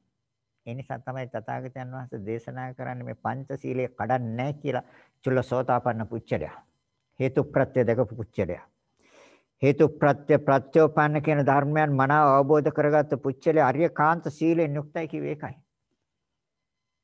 අර බොරු කියලා, කේලම් කියලා, පරුෂ වචන කියලා, ගොළුෙක් බිහිරෙක් වෙලා ඉන්න ආකාරය අම්මට තාත්තට කතා කරන්න පුළුවන් දරුවා කතා කරන්නේ. නැත්නම් අම්මයි තාත්තට කතා කරන්න බෑ දරුවා කතා කරනවා. එහෙනම් එයා දකිනවා. ඒතර එයා මනසින් දකිනවා කර්මය. එහෙන් දකිනවා ඵලය. කර්මය මනසින් දකිනවා. මෙයා පෙර භවයේ මෙහෙම දෙයක් කරලා තමයි මේ ඇවිල්ලා මේකේ ඵලය මේ භුක්ති විඳින්නේ. මම නම් අහුවෙන්නේ නැහැ අවකට. අවබෝධයෙන් තමයි ආරක්ෂා කරගන්නේ ශික්ෂාපද. ඒ සීලය ආරක්ෂා කරගන්නේ අවබෝධයෙන්. තේරුම් ගත්තා. දැකලා තේරුම් ගන්න. කර්මය දැක්කා ඵලය දැක්කා. හේතුව දැක්කා ඵලය දැක්කා. හේතුඵල දැක්කා. එහෙනම් අනේ යම් කිසි කෙනෙක් තර මන්ද බුද්ධිකයි. යම් කිසි කෙනෙක් උම්මත්තකයි. තර බුදුරජාණන් වහන්සේ පැහැදිලිවම දේශනා කළා. යම් කිසි කෙනෙක් මත්පැන් මත්ද්‍රව්‍ය පාවිච්චි කරනවාද? එයා ඊගා භවයේ උපදින්න ඕනේ තිරිසන් ලෝකයේ. නිරය තිරිසන් ලෝකය කියන්නේ නිරයක්. මනුස්ස ලෝකයට ආවොත් උම්මත්තකයි එක්ක මන්ද බුද්ධිකයි. ඒතොර දැන් මේ චුල්ල සෝතාපන්න පුච්චලයා හොඳටම දන්නවා. හොඳටම දකිනවා. ආ මෙයා මන්ද බුද්ධික වෙලා ඉන්නේ. මෙයාට කියන දේ හරියාකාරව තේරෙන්නේ නැහැ. මෙයාට කියන දේ හරියාකාරව තේරෙන්නේ නැහැ. හරියාකාරව වැටහෙන්නේ නැහැ. ඒතර මෙයා ಜಾති උම්මත්තකයි. මෙයා උප්පත්තියෙන්ම උම්මත්තකයි. උප්පත්තියෙම මෙයා උම්මත්තකයි. ಜಾති උම්මත්තක.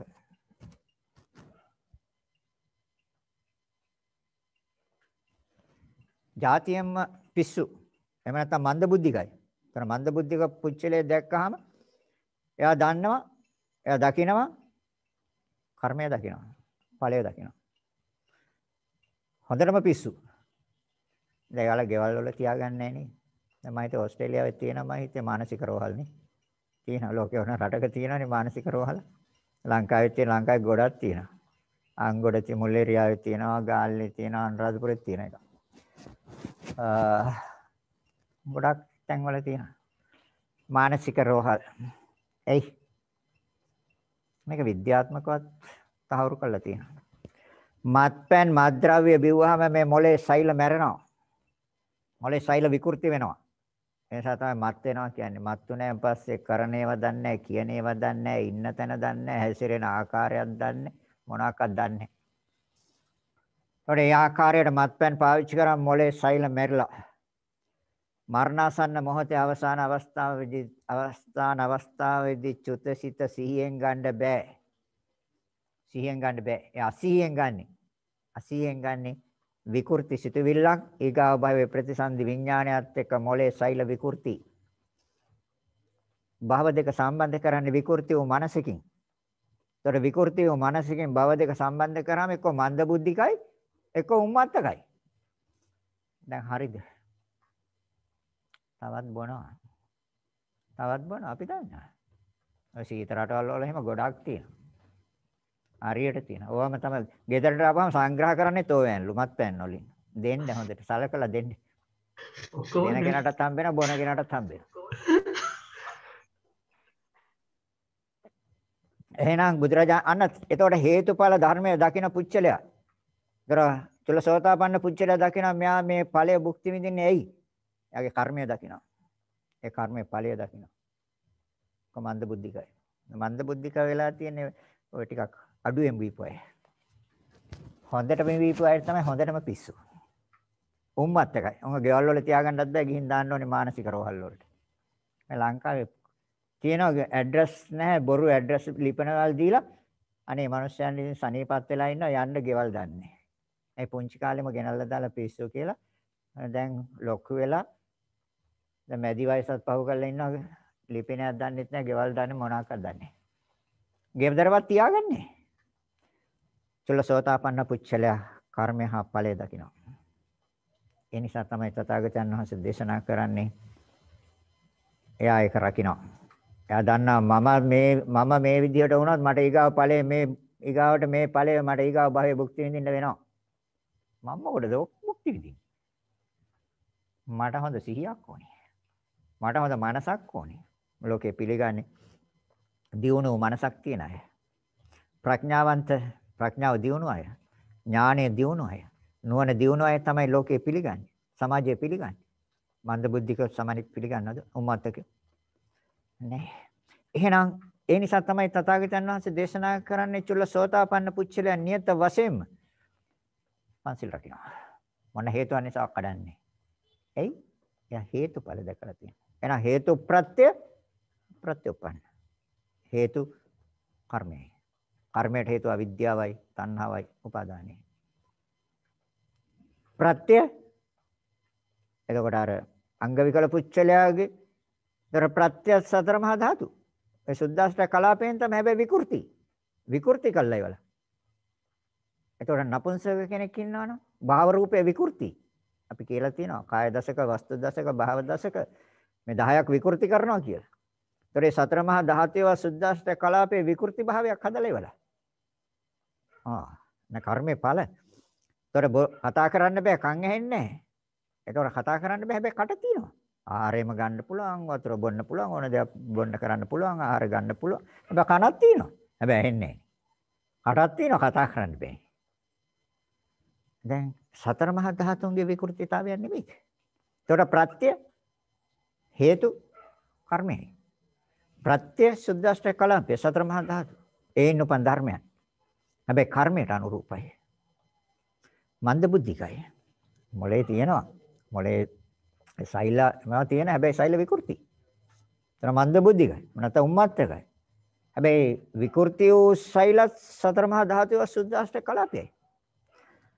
හොඳ ඥානවන්ත ප්‍රඥාව තියෙන ප්‍රඥාව ක්‍රමක්‍රමයෙන් හොඳට දියුණු කරගන්න පුළුවන් ඒ සෛල ඒවා සතර මහා ධාතු. ඒවා සුද්දාෂ්ට කලාපේ එහෙනම් අන්න නිවැරදිව දකිනවා. හේතුඵල හේතු ප්‍රත්‍ය ප්‍රත්‍යෝපන්න. එතකොට යා රකින්නවද ආරක්ෂා කරගන්නවද නැද්ද? එයි මේ අවුරුදු කීපයක් මෙහෙ ඉඳ ඇවිල්ලා බව කීයක් අංගවිකල වෙයිද? බව කීයක් නපුංසක වෙයිද? බව කීයක් ගොළු බිහිරි වෙයිද? බව කීයක් මන්ද බුද්ධික උම්මත්තක වෙයිද බලලා හිතනවා දෙක භවයකින් අවසන් වෙයි කියලා. දැන් මේ භවයේ හොඳට බීපු අය ඒක භවයේ විතරක් විපාක විඳලා අයින් වෙයි කියලා. එහෙම වෙන්නේ සමහරවිට භව 500ක් වෙන්නත් පුළුවන්. භව 1000ක් වෙන්නත් පුළුවන් මන්ද බුද්ධික. උම්මත්තක. භව 1000ක් වෙන්න පුළුවන් ගොළු බිහිරි. භව 500ක් 1000ක් වෙන්න පුළුවන් නපුංසක. අර ඉසිදාසි තේර තේරි ගාතාවල කියලා බලන්න ඔය ඉසිදාසි තේරිය කියන ලස්සන. එයාට මොනවද උනේ කියලා. සෙල්ලා ද සල්ලි තියෙන හොඳ සිටු දියණියක්.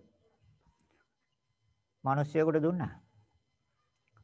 හොඳට මනුස්ස තමන්ගේ ස්වාමියාට හොඳට සලකනවා. නිරන්තරයෙන් ගෙදර ඉන්න සියලු දෙනාටම 16ක් වගේ මෙහෙකාරකම් කරනවා. ස්වාමියාට 16ක් වගේ. සියලු දේවල් කරනවා. හැබැයි ස්වාමියාට මාසෙන් එපා. අනේ මට මේක හරියන්නේ නැහැ කියලා ගෙදර ගෙහෙන් දැම්මා. දැන් ඊට පස්සේ ආයි දෑවැද්දක් හදලා තවත් මිනිස්සෙකුට දුන්නා. ඒ මිනිස්සයා ගිහින් ටික දවසක් තියාගෙන අනේ ඒ ඒ ස්වාමියාටත් ඒ ආකාරයටම ස්වාමි භක්තියෙන් සැලකුවා. නියම ස්වාමි දියණියක් හැටියට සැලකුවා. නමුත් ඒ මිනිස්සයාටත් එපා වුණා. මාස කිහිපයක් තියාගෙන ඉඳලා ආපහු ගෙනත් දැම්මා අනේ මට එපා මේක කියලා. ඊට පස්සේ හිඟන්නේකට පාර යන හිඟන්නේකට අඬ ගහලා දුන්නා. හිඟන්නගේ දිරච්ච වස්ත්‍රයයි ඒ කොළපත් කෑල්ලයි මෙන්න මෙහි තියාම මේ සල්ලි තියෙන ඕන තරම් සම්පත් තියෙන වස්තු තියෙන මේ සිටු දියණියක් හොඳ රූපත් කාන්තාව මෙයත් එක්ක ඔබ ජීවත්යන් කියලා හිඟන්නේකට දුන්නා. ටික දවසක් ඉඳලා හිඟන්න කියනවා මට මෙයා එපා මගේ අර දිරච්ච වස්ත්‍රයයි අර කොළපත් කෑල්ලයි මට හොඳයි මට ඒක දෙන්න මම යනවා කියලා. බලන්න ඔය තේර තේරි ගාතේ තියෙනවා. දැන් ඊට පස්සේ මොකද්ද? ඊට පස්සේ කිව්වා මට මහාන වෙන්න දෙන්න මට එපා කිව්වා මට හරියන්නේ නැහැ කිව්වා ගිහි ජීවිත. මට මහාන වෙන්න අවසර දෙන්න කිව්වා මං යනකො මහාන වෙන්න. දැන් මහාන වුණා. හැබැයි සතියක් වගේ කාලෙකදී අරිහත්ත්වයට ගියා. අරිහත්ත්වයට ගිහිල්ලා අරිහත්ත්වයට ගිහිල්ලා පූර්ව නිවාසානුස්මෘති ඥානය උපදවාගත්තා. ත්‍රිවිද්‍යාව උපදවාගත්තා. පූර්ව නිවාසානුස්මෘති ඥානය, චුති උප්පත්ති ඥානය, අසර කෙසර ඥාන ත්‍රිවිද්‍යාව උපදවාගත්තා. විසිදාසි. බව හතක් පේනවා යාට. බව හතක විස්තර විතරයි කිව්වේ. වෙලෙන්දෙක් මම වෙලඳාමෙන් ජීවත් වුණා. මීට බව හතකට පෙර. ඒ වෙලඳාමෙන් ජීවත් වෙන අවස්ථාවේ මං කාමයේ වර්ධ හැසිරුණා. ඒකේ ප්‍රතිඵල වශයෙන් මං නිරේ දුක් විඳා. අනන්ත ප්‍රමාණ කාලයක් මං නිරේ දුක් විඳා. නිරේ දුක් විඳලා මම තිරිසන් ආත්මවල අනන්ත ප්‍රමාණ තිරිසන් ආත්ම භවවල මම උපන්නා. ඒ සෑම ඉපදුණු ආත්ම භවයකම මාගේ භව රූපේ විකෘති. එහෙම නැත්නම් විකෘති කෙරුවා. යම යම අල්ලලා මාව විකෘති කෙරුවා. ඒ කර්මේ විපාකයයි. මම ඒ සියලු කර්ම දැන් අවසන් කරා. මට ආයේ කර්ම විපාක දෙන්නේ. මම දැන් ත්‍රිවිද්‍යාලාභී. මම අරිහත්ත්වයට ගිහින් ඉන්නේ. අද හිටියනම් අදත් විඳිනවා එහෙම. තේරෙනවද? එහෙනම් අර සතර මහා ධාතුය සුද්දාස්තක කලාපේ විකෘති භාවයද හේතුඵල දකින්න. එහෙනම් මේ සෑම තැනකම තියෙන හේතු ප්‍රත්‍ය ප්‍රත්‍යෝපන්න හ්ම් ඒ දර්ශනය චුලසෝතපන්නයි. ඊට පස්සේ ආ හේතු හදන්නේ. හේතු හදන්නේ. හැබැයි අවිද්‍යාව තණ්හා උපාදාන තියෙනවා යාට. කර්ම වල කර්ම තම තද බල ලෙස හදන්නේ. කර්ම ඒ කියන්නේ ඒක අභිධර්ම ක්‍රමයෙන් කියන තදාරම්මන. ජවන් හතක් හතට පස්සේ තදාරම් තදාරම්මන ස්වභාවයට යන්නේ. ඒ කියන්නේ අකුසල කර්ම. අකුසල කර්ම කරන්නේ නැහැ හැබැයි ලෝභය තියෙනවා. දේශය තියෙනවා. මොහයක් තියෙනවා. දික්ටි නැහැ. දික්ටි විචිකිච්ඡා නැහැ. සීලබත පරාමාස නැහැ. ඒතර ඒ සංයෝජන තුන නැහැ. සක්කාය දිට්ඨි විචිකිච්ඡා සීලබත පරාමාස කියන සංයෝජන තුන නැහැ. එයා දන්නා වෙන රුත වෙන පිළිගැනීම් වලට ගිහිලා වැඩක් නැහැ. මම මේ හේතු අයින් කරන්න ඕනේ මේ ඵලයේ මේ ඵලය නොලබන්න නම්. ලබන්න නැතුව ඉන්න නම්. කියලා එයා ලස්සනට එක දකිනවා. එයා ඒකාන්ත සීලෙන් යුක්තයි. එහෙනම් අර දැන් සංස්කාර උපේක්ෂා ඥාන ඊගාවට එන්නේ. සංස්කාරයන් පිළිබඳ උපේක්ෂාවෙන් බලන්න. ඒකට එයා දකිනවා. සෑම දෙයක් පිළිබඳව එයා එහෙන් දකින දේ පිළිබඳව මනසින් හොඳට දකිනවා. අපි දැන් එහෙන් දකින හොඳට මනසින්. මනසෙන් දකින්නේ නැහැ නේද? ඒතර බෞද්ධ දර්ශනය කියන්නේ මොකක්ද? බෞද්ධ දර්ශනය කියන්නේ මනසෙන් දකින්න තියෙන දේ. නුවණින් දකින්නේ, ප්‍රඥාවෙන් දකින්නේ. එහෙනම් ප්‍රඥාව වැඩිලාද? චතුරාර්ය සත්‍ය අවබෝධයේ මට්ටමට ඇවිල්ලාද එතකොට? ඒතර දැන් අපි තව පැත්තක් ගමු ඕන. තවත් ආයේ මේ දුක්ඛාරය සත්‍ය, සමුදාය සත්‍ය, නිරෝධාරය සත්‍ය, දුක්ඛ නිරෝධගාමිනී ප්‍රතිපදාරය සත්‍ය. සත්‍ය හතරයි. එහෙනම් අපි චක්කු ප්‍රසාද රූපය ගැන දැන් මෙච්චර වෙලා කතා කළේ. රූපස්කන්ධය ඒ ක්‍රියාවට සිත ඕනි. සිතේ ක්‍රියාකාරීත්වය අනුවනේ මේ චක්කු ප්‍රසාද රූපේ ක්‍රියාකාරීත්වය සිද්ධ වෙන්නේ. සිත බැහැර වුණොත් ඒකේ ක්‍රියාව නවතිනවා. එහෙනම් නාම රූප දෙකේ ක්‍රියාවන්නේ තියෙන්නේ. නැද්ද? නාම රූප දෙකේ ක්‍රියාව. නාම රූපච්ච සලායතන සලායතන පච්ච පස්ස පස්ස පච්ච වේදනා වේදනා පච්ච තණ්හා තණ්හා පච්ච උපාදානං උපාදාන පච්ච භව භව පච්ච ජාති ජාති පච්ච හ්ම් එහෙනම් දැන් ඔකට චන්දරාගය තියලා ගිහින් කොහෙද යන්නේ? ତොර දැන් ඥාන ටික පිළිවෙලින් ඇවිල්ලාද? එහෙනම් ඒක දුක්ඛාරය සත්‍ය. ජරා මරණ වල නවත්තනවා කියලා. දැන් නවත්තලා තියෙන්නේ. ජරා මරණ. ඒ පෙර භවයේ චක්ක ප්‍රසාද රූපය මේ ආකාරයට දැක්කේ නැහැ, මේ ආකාරයට තේරුම් ගත්තේ නැහැ, අවබෝධ කරගත්තේ නැහැ. සංඥා විඥාන දෙකට ඉඩ දුන්නා. විඥාණයටයි සංඥාවටයි හොඳට ඉඩ දුන්නා, ප්‍රඥාවට ඉඩ දුන්නේ. අදත් එහෙමයි වැඩි දෙනෙක්. විඥාණයටයි සංඥාවටයි හොඳට ඉඩ දීලා ඉන්නවා. විඥාණයෙන් දැනගන්නවා සංඥාවෙන් හඳුනා ගන්නවා හැබැයි ප්‍රඥාව ප්‍රඥාව හැංගිලා තියෙන්නේ. නෑ ඔය ධර්මතාවය ගන්න ඉදිරියට. තේරුණාද? ඒ ධර්මතාවය ගන්න. එහෙනම් නිවැරදිව දකින්නේ යථා අවබෝධය ප්‍රඥාව. ඉතින් අපි අර චක්ක ප්‍රසාද රූපය සිතත් එක්ක ක්‍රියාත්මක වෙන්නේ. කම්ම චිත්ත ඍතු ආහාර. ඒතර එකෙන් එක ධර්මතාවයක්. සිත සිතේ ක්‍රියාකාරීත්වය. તો නාම රූප දෙකේ ක්‍රියාකාරීත්වයට හේතු ප්‍රතිසන්දි විඥානය. පෙර භවයයි මේ භවයයි සම්බන්ධ කළානේ. එතෙන්දී පටන් ගත්තේ. රූපේ ක්‍රියාකාරීත්වය පටන් ගත්තා නාමය පැටලිච්ච ගම. නාමය සම්බන්ධ වෙච්ච ගම. ඒ කියන්නේ විඥානය. ඒතර විඥානයේ ප්‍රතිසන්දි විඥානයට හේතු සංස්කාර. සංස්කාර කිව්ව කර්ම. කර්ම වලට හේතු අවිද්‍යාව. අවිද්‍යාවට හේතු ආශ්‍රව. ආශ්‍රව කිව්වේ ඡන්ද රාගය හේවත් තෘෂ්ණාව. දැන් සමුදාය සත්‍ය. දැන් මොකද කරන්නේ එතකොට? දුක කියන එකෙන් මිදෙන්න නම් දුක සාමුලින් නැති කරන්න නම් දුක නිරෝධය එහෙනම් හේතු අයින් කරන්න ඕනේ. හේතු අයින් නොකර මොන දෙවි කෙනෙක් ගාවට කියලා මොන දෙයක් කරත් හරියනවද?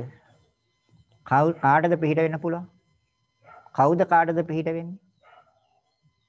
බෑ. එහෙනම් හේතු අයින් කරන්න ඕන. හේතුව තණ්හාව.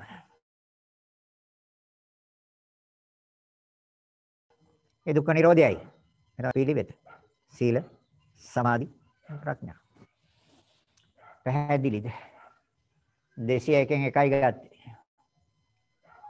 එහෙමයි. එතකොට ඥා ආ එහෙමයි හඳුනේ පැහැදිලි වුණා. හොඳට තේරුණා ස්වාමී. තේරුණාද? දැන් අහන්න එනම් මොනවද තියෙනවද ප්‍රශ්න? අපේ එකමාරකට වැඩි කතා කරා අපි. ධර්මයේ ගැඹුරුයි. එහෙමයි හඳුනේ. බොහොම ගැඹුරුයි. පෙරවන සම්මයි සාරිනාන්ත. ඔව්. ස්වාමීන් වහන්සේ මේ ධර්ම දේශන මේ ඕගනයිස් කරන මහත්තයාගෙනුත් එක්ක මම අහන්නේ මුලින් ඉඳන් අපිට අහන්න බැරි වුණා ඒ YouTube එකෙන් හරි කොහොම හරි අපිට අහන්න පුළුවන් ද මුලින් ඉඳන් ධර්ම දේශන ටික අමාදම් එයා මෙහෙ පුළුවන් මං හිතන්නේ ඔබතුමිය අපේ WhatsApp group එකේ ඉන්නවද? නෑ මහත්මයා. එහෙමනම් මට මේ chat box එකේ පොඩ්ඩක් නම්බරේ දාන්න නමත් එක්ක මම ඒකට ඇතුළත් කරන්නම් එතකොට පුළුවන් දේශනා ටික ඔක්කොම අහන්න ඒ page එකේ සසරෙන් නිවනට කියලා page එකක් තියෙන මම ඒකට පණිඩයක් එවන්නම් මට පොඩ්ඩක් chat box එකේ නම්බර් එක කියන්න. මේ chat box එකෙන් දාන මම දන්නේ මම ඔබතුමාට දැන් නම්බර් එක කියන්න. ඔබතුමා මට ඒක සලස්සලා දෙනවද? ආ මට නමයි නම්බර් එක කියන්න. MJC පුෂ්ක කුමාරී. ඔව්. බින්දුවයි හතයි එකයි. ඔව්. දෙසිය හටයි අසූ අටයි පනස්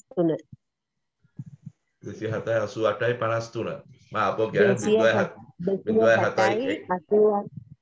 දෙසිය හතයි අසූ අටයි පනස් තුන ම අපෝ ගැන බිඳුවයි හතයි දෙසිය හැටයි අසූ අටයි පනස් තුන මම නොම්බරේ ආපහු කියන්නම් 0.71යි 260යි 87යි 51. අපි හත නෙමෙයි 8888. ඕකේ. හරි. මට තේරුණා. මම ඒකට අද මෙසේජ් එකක් යවන්න. හරි ඕකේ thank you. පුදුසන්නයි. අබුසන්නයි.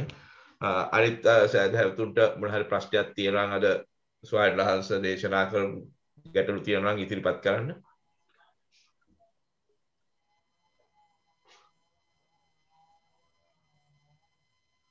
ස්වාමීන් වහන්සේ පුංචි. ගැටලුවක් ගැන අහන්න කතා කරන්නේ යම් කිසි කෙනෙක් මස් මාළු අන- අනුභව කරන්න නැති කෙනෙක් අපේ හිතමු මස් කඩේක වෙළඳාම් කරන රැකියාව හැටියට එහෙම නැත්නම් මත්පැන් ශාලාවක මත්පැන් විකුණනවා අක්කෝ ගීන් දෙනවා ඒ වගේ රස්සාවක් කරනවා. ඒ අයට කොමද ධර්මයට අනුව පවක් සිද්ධ වෙනවාද?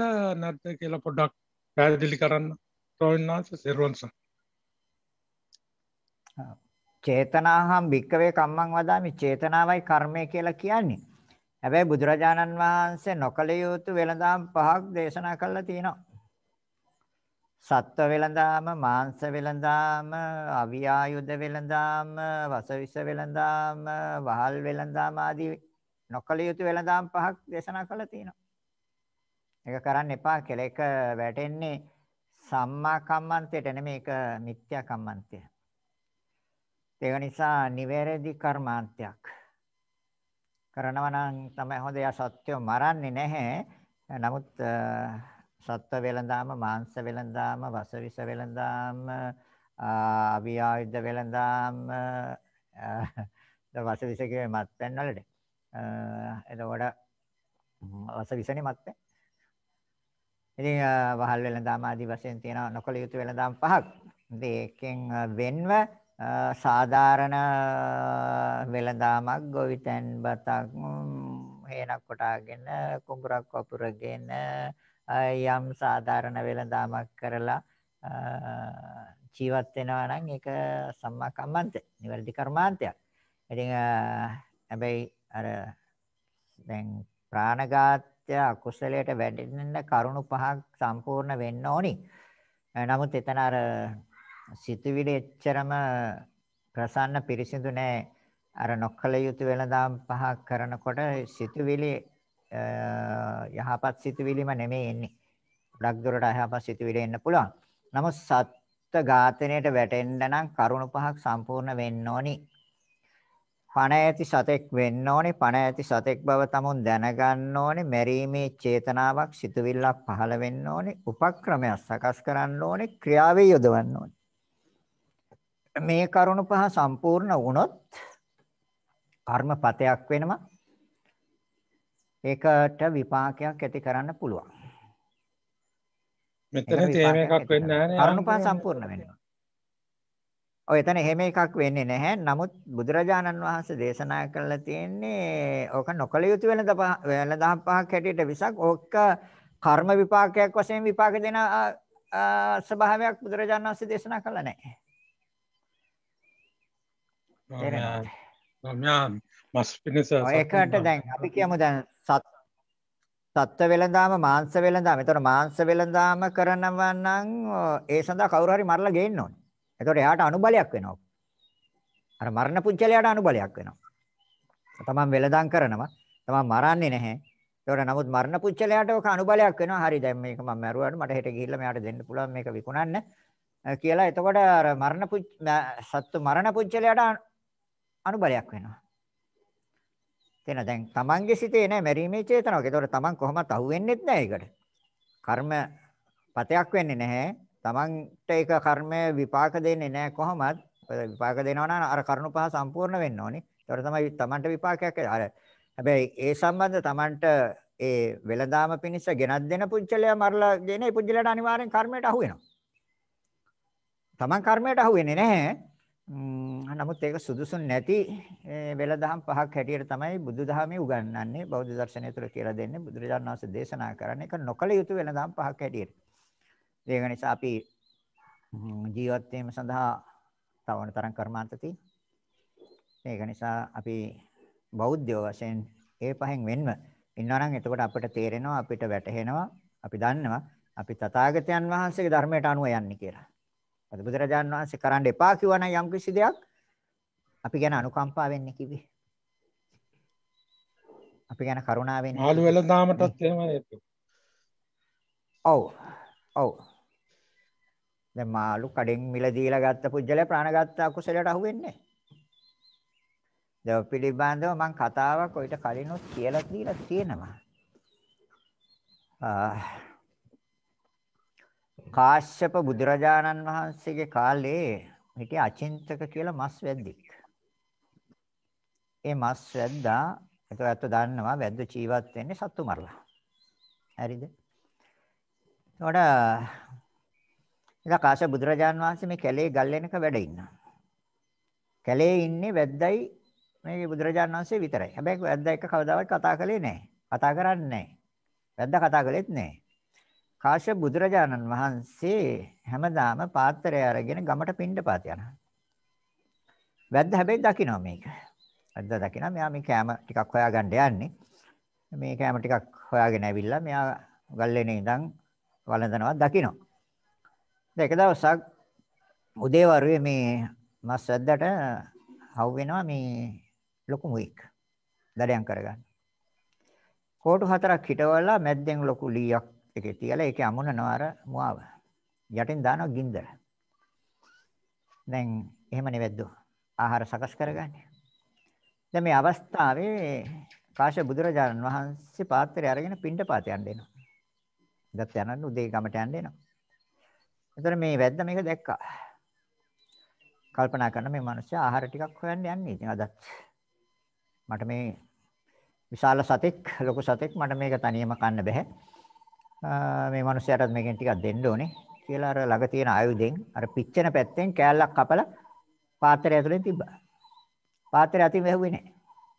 පද ආහාරය ප්‍රතික්ෂේප කරනවා නම් පාත්‍රය ඇතුලේ තියන්න ඉස්සෙල්ලා පාත්‍රයේ අතින් වහනවා. කාශ්‍යප බුදුරජාණන් වහන්සේ අතින් වැහුවේ නැහැ. බාරගත්තා. දැන් දානයක් බාරගත්තාම බුද්ධ ප්‍රඥප්තියක් තියෙනවා අනුශාසනා ධර්මයක් දේශනා කරන්න ඕනේ. ඒක සියලු බුදුවරයන් වහන්සේලා අනුගමනය කරපු ක්‍රියාවක් අපටත් පනවලා තියෙන ප්‍රඥප්තියක්.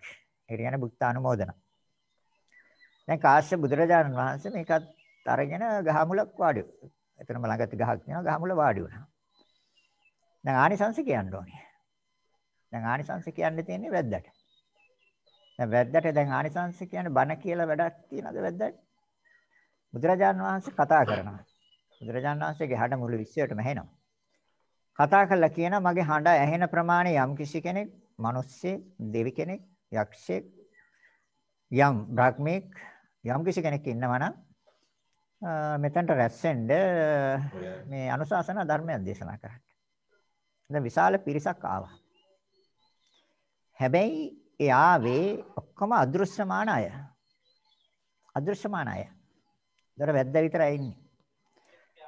දැන් බුදුරජාන් වහන්සේට පේන හැබැයි විශාල පිරිසක් ඉන්නවා දැන්. තථාගතයන් වහන්සේගේ ඉස්සර. මේ දානේ ආනිසංස අහන්න. දැන් බුදුරජාන් වහන්සේ කියනවා මේ මිනිස්සු මට දානය පූජා කරන්න.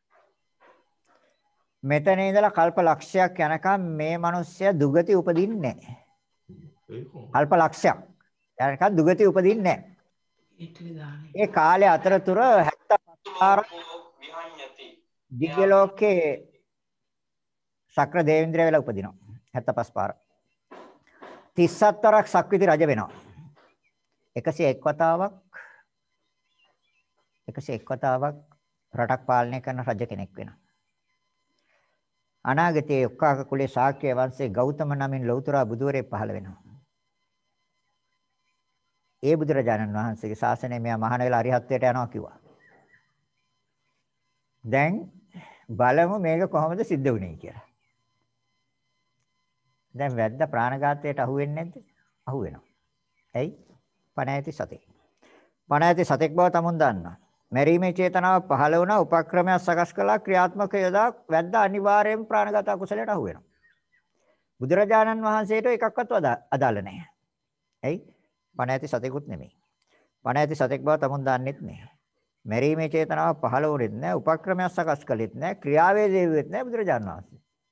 ඒක තථාගතයන් වහන්සේට පහින් එකක්වත් නැහැ. ඒ නිසා තමයි පාත්‍රය විවෘත කළේ. හරිද? එතකොට දැන් කල්ප ලක්ෂයක් සැප විපාක විඳලා අරිහත්ත්වයට යනවා. ඒ කොහොමද? Taman ළඟ තියෙන එකම වස්තුවයි දුන්නේ. උතුම් වූ සද්ධාවෙන් දුන්නේ ලෝකයේ අසම සම පුජ්‍යලයකට දුන්නේ. අතිශය ප්‍රණීත කුසලයක්. තමන් ළඟ තියෙන එකම වස්තුවයි. වෙන අනිත් යකඩ කෑලි ටික. ආයුධ ටික. එකම වස්තුව තමයි දඩියම. උතුම් වූ සද්ධාවෙන් දුන්නා කිසිම ලෝභකමක් නැහැ. ලෝභ චේතනාවකින් නෙමෙයි දුන්නේ. කිසිම ලෝභකමක් නැතුව කපලා දුන්නා. ඒතර ලෝභ චේතනාවක් නැහැ. එහෙනම් උතුම් වූ සද්ධාවෙන් දුන්නේ ලෝකේ අසම සම පුජ්‍යලයකට දුන්නේ. මහත්ඵලයි මහනිසංසයි. විපාක දීලා ඉවර වෙන ඒ දැන් ඒ සැප විපාක දීලා ඉවර වෙන්න කලින් මහාන වෙලා අරිහත්ත්වයට යනවා. අර වාහෝසි කර්ම.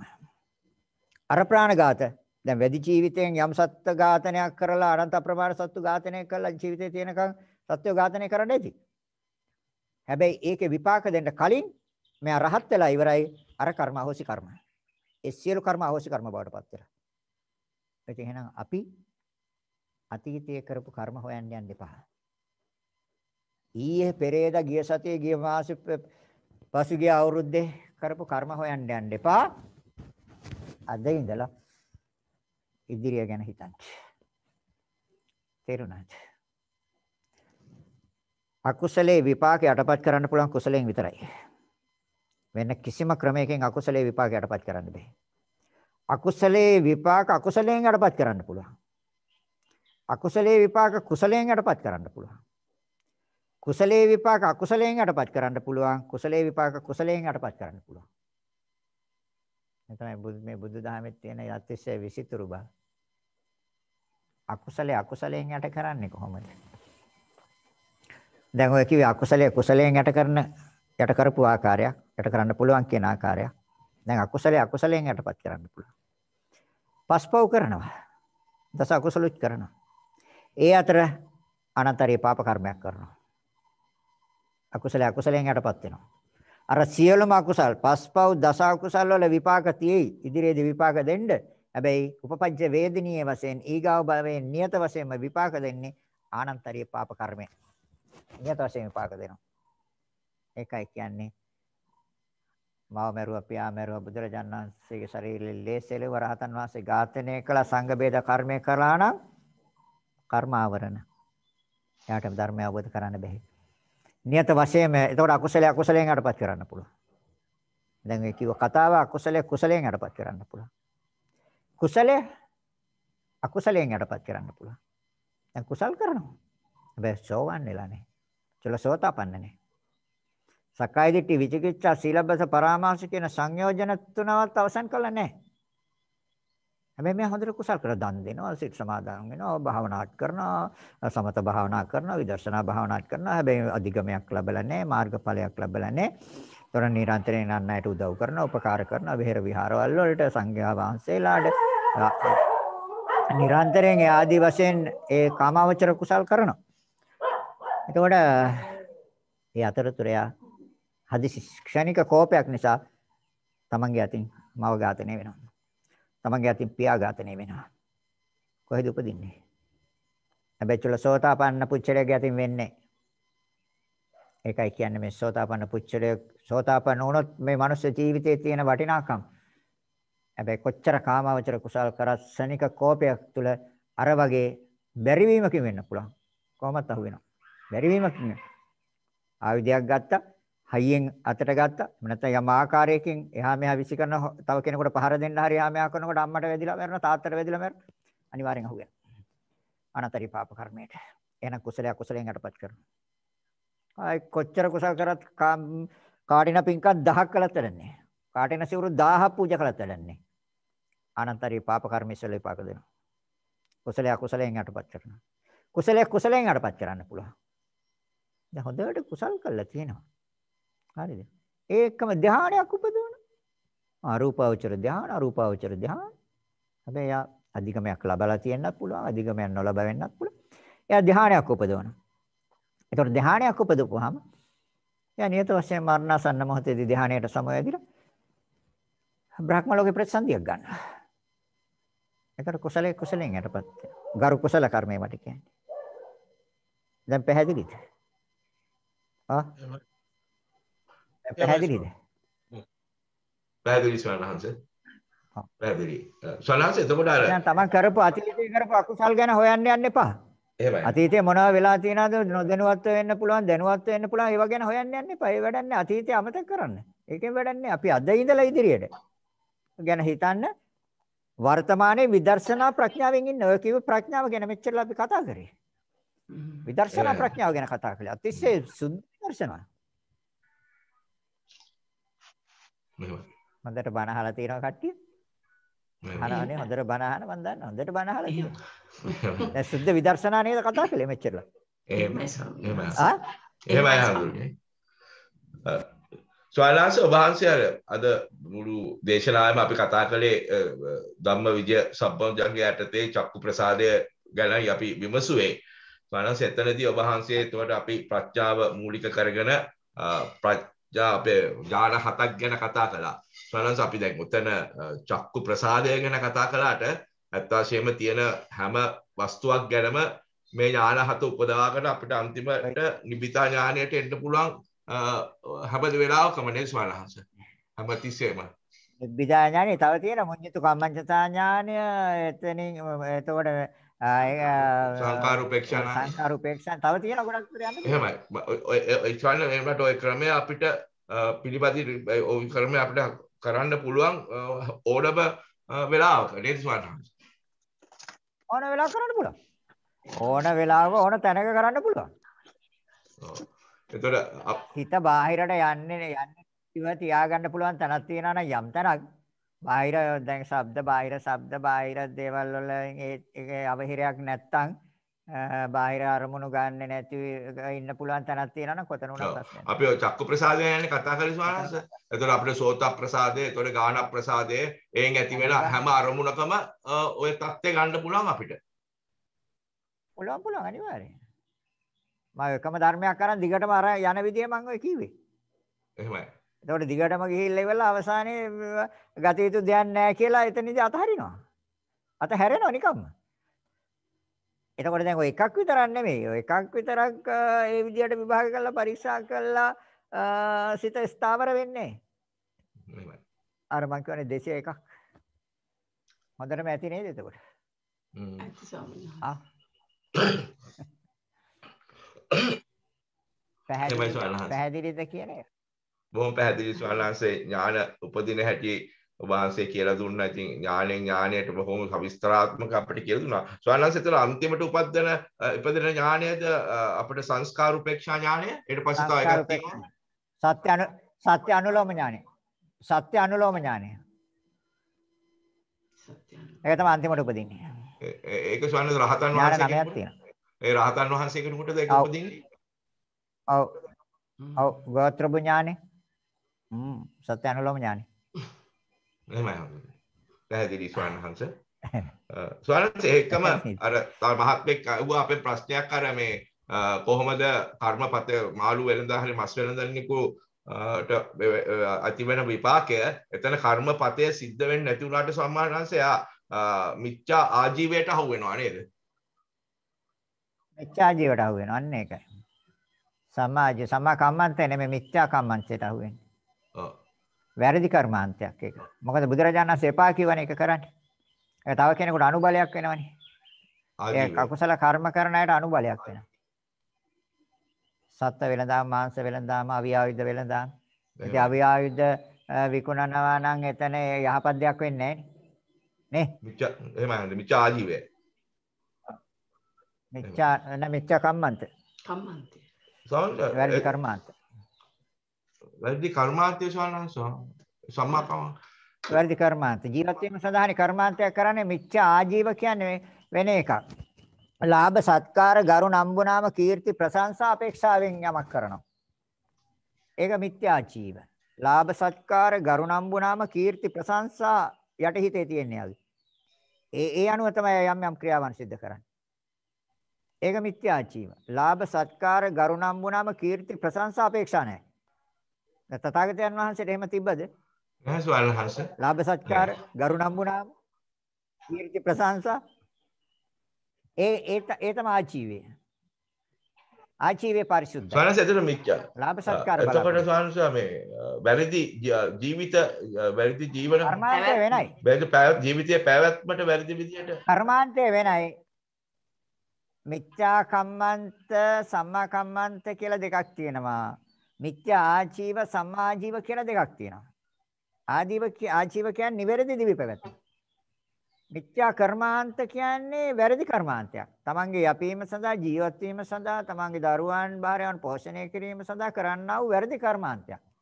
යම් කිසි කෙනෙක් යම් කර්මාන්තයක් කරන්න එපා තමන්ගේ ජීවනෝපාය සඳහා ජීවත් වීම සඳහා තේරෙනවද?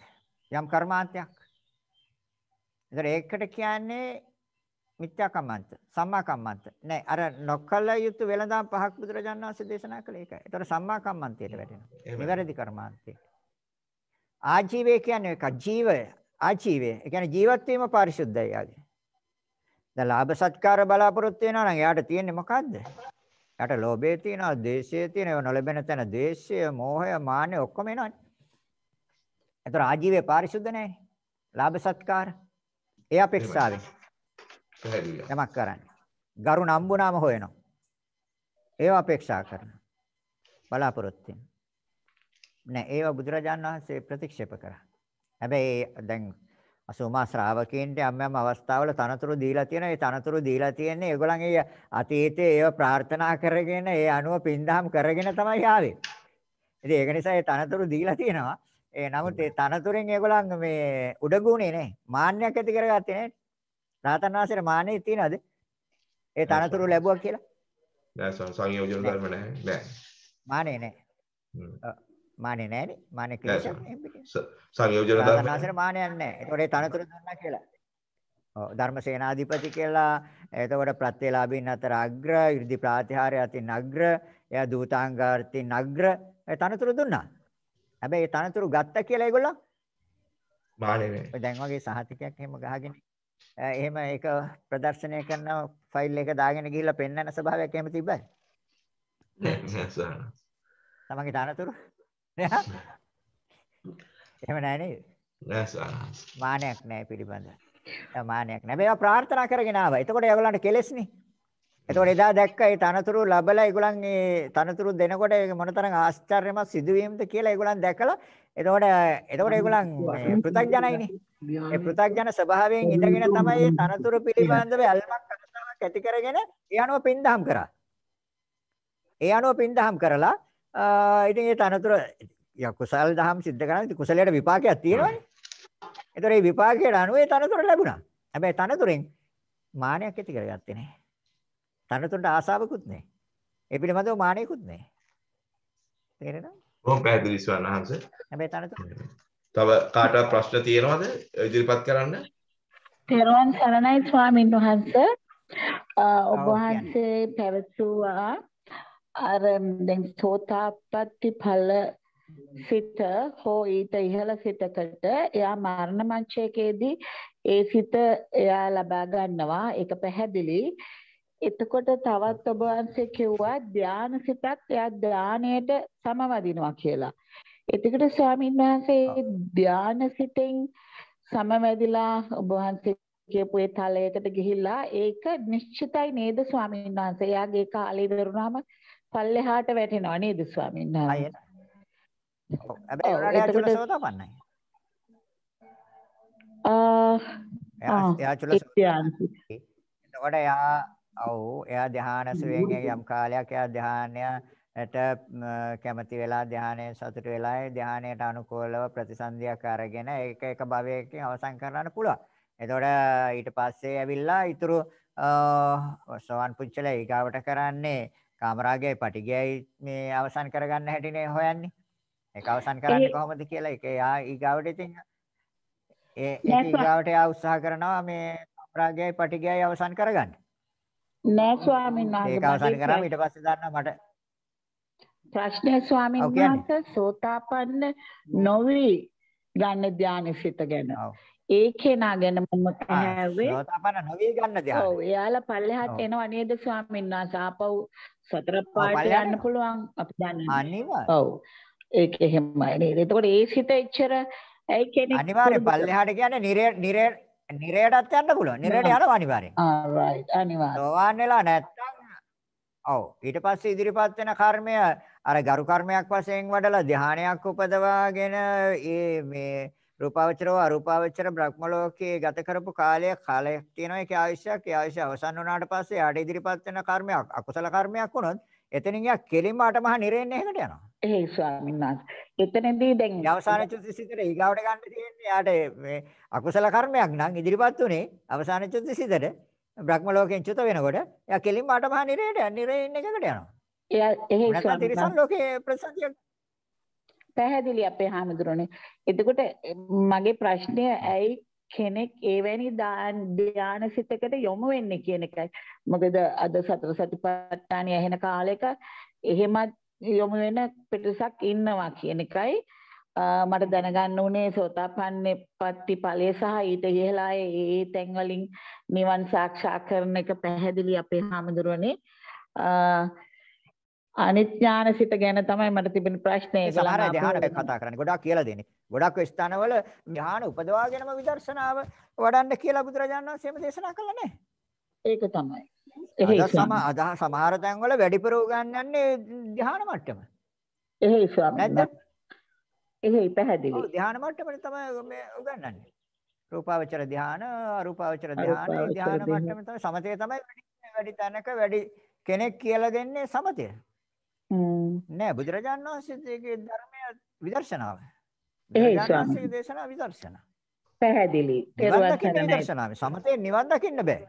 අනිවාර්යයෙන්. සමතෙන් නිවන් දකින්න බෑ. ඔව්. පැහැදිලි අපේ හාමුදුරනේ මේ බොහොම සමතය මේකට උපකාර කරන උපකාර වෙනවා. එහෙයි. සමත. භාවනාව විදර්ශනා භාවනාවට උපකාර කරනවා. උදව් කරනවා, උපකාර කරනවා. උපකාර. කරගන්න පුළුවන්. තෙරුවන් සරණයි හාමුදුරනේ. විදර්ශනාවට යන්න ඕනේ. හොඳයි, තෙරුවන් සරණයි. ඒක සමතය නෙවෙයි සමාධිමත් සිතක් ඇති කරගන්න. ඒකයි. ස්වාමීන් මම හිතන්නේ අද? වහන්සේ බොහෝ වෙලා ධර්මය දේශනා කළා. ස්වාමීන් පැය දෙකකට පමණ කාලයක්. වහන්සේ මුනිඩාවටත් පත් වී ඇති එක බොහෝ අර්ථවත් ධර්මයක් වහන්සේ අපිට ධර්ම පරයය දේශනා කළේ. ඒ බොහෝ පින් ඔබ වහන්සේට අත් වේවායි මම ප්‍රාර්ථනා කරනවා. බොහෝ වැඩ කටයුතු තියෙද්දී මේ වගේ කාලයක ඔබ වහන්සේ අප ගැන බොහෝ අනුකම්පාවෙන් අපට ධර්මයෙන් සහ අර්ථයෙන් මේ ධර්ම මේ සසර දුකින් නිවනට දොර ඇර දෙන ඔබ වහන්සේට අජරාමර නිවන් සුවය මම ප්‍රාර්ථනා කරනවා අපි සියලු දෙනාම වෙනුවෙන් ස්වාමීන් වහන්සේ ඔබ වහන්සේට නිදුක් නිරෝගී සම්පත් චිරාත් කාර්යයක් ලැබේවයි කියලා ප්‍රාර්ථනා කරනවා සාදු සාදු සාදු. සාදු සාදු සාදු. එහෙනම් රැස් කරගත්තා නම් අප්‍රමාණ පුණ්‍ය ශක්තියෙන් පළමුවෙන් තම තමන් නමින් පරලෝසපත් ඥාතීන්ට අනුමෝදන් කරනවා. යම් ඥාති කෙනෙක් ඇත්නම් පින් බලාපොරොත්තු මේ උතුම් පුණ්‍ය ශක්තියෙන් අනුමෝදන් වීමෙන් සුවපත් වේවා. ඒ සෑම කෙනෙක්ම ඊට ඉක්මන් භවයකදී උතුම් වූ නිවනින්ම සැනසෙත්වා කියලා තම තමන්ගේ පරලොවගේ ඥාතීන් සිහිපත් කරගෙන ඉදම්මේ ඥාතිනම් හෝතු කියන ගාථාවන් කියන. ඉදම්මේ ඥාතිනම් හෝතු සුඛිතා හොන්තු ඥාතයෝ ඉදම්මේ ඥාතිනම් හෝතු සුඛිතා හොන්තු ඥාතයෝ ඉදම්මේ ඥාතිනම් හෝතු සුඛිතා හොන්තු ඥාතයෝ රැස් කරගත්තා නම් තා ප්‍රමාණ පුණ්‍ය ශක්තියෙන් සියලු දෙවියන්ටත් අනුමෝදන් කරනවා සියලු දෙවියෝත් මේ පින් අනුමෝදන් වේවා දෙවියනුත් උතුම් වූ නිවනින්ම සැනසෙත්වා කියලා දෙවියන්ට පින් දෙමු. ආකාසට්ටා ච බුම්මට්ටා දේවානාගා මහිද්దికා පුඤ්ඤන්තං අනුමෝදිත්වා චිරන් රක්ඛන්තු ශාසන ආකාසට්ටා ච බුම්මට්ටා දේවානාගා මහිද්దికා ච බුම්මට්ටා පුඤ්ඤන්තං අනුමෝදිත්වා චිරන් රක්ඛන්තු දේශන යන්තරකාන්ත දේශනං ආකාසට්ටා ච බුම්මට්ටා දේවානාගා මහිද්దికා පුඤ්ඤන්තං අනුමෝදිත්වා චිරං රක්ඛන්තු මම් පරං තාචක්කං පරන්ති දාන වශයෙන් රැස් කරගත්තා නම් අප්‍රමාණ පුණ්‍ය ශක්තියෙන් ඔබ අප සෑම දිනාටම මේ සංසාර දුකෙන් නිදහස් වීම පිණිසම හේතු වාසනා වේවා කියලා සාදු හිතාගෙන සාදු සාදු.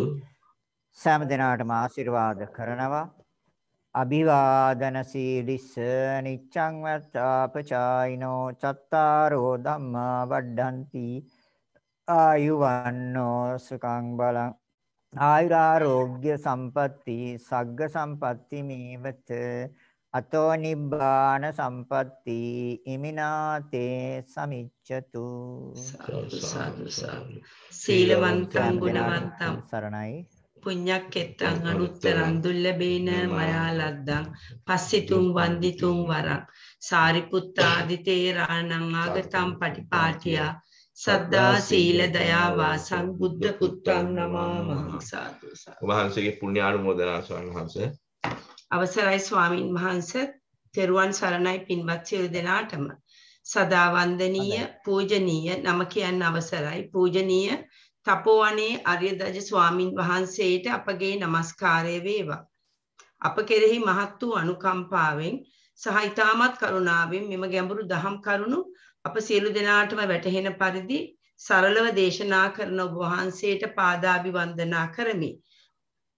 මෙම උතුම් ශාසනික මෙහෙවර চিරාත් කාලයක් පහසුවෙන් කරගෙන යාමට ඔබ වහන්සේට අවශ්‍ය නිදුක් නිරෝගී කායික මානසික සුවපත්භාවය ලැබේවායි අප සියලු දෙනා වෙනුවෙන් ප්‍රාර්ථනා කරමු. ඔබ වහන්සේට ප්‍රාර්ථනීය බෝධියකින් උතුම් නිර්වාණ අවබෝධය ලැබීමට මෙම ධර්ම දානමය මහා කුසලයේ හේතුපනිශ්‍රය වේවා.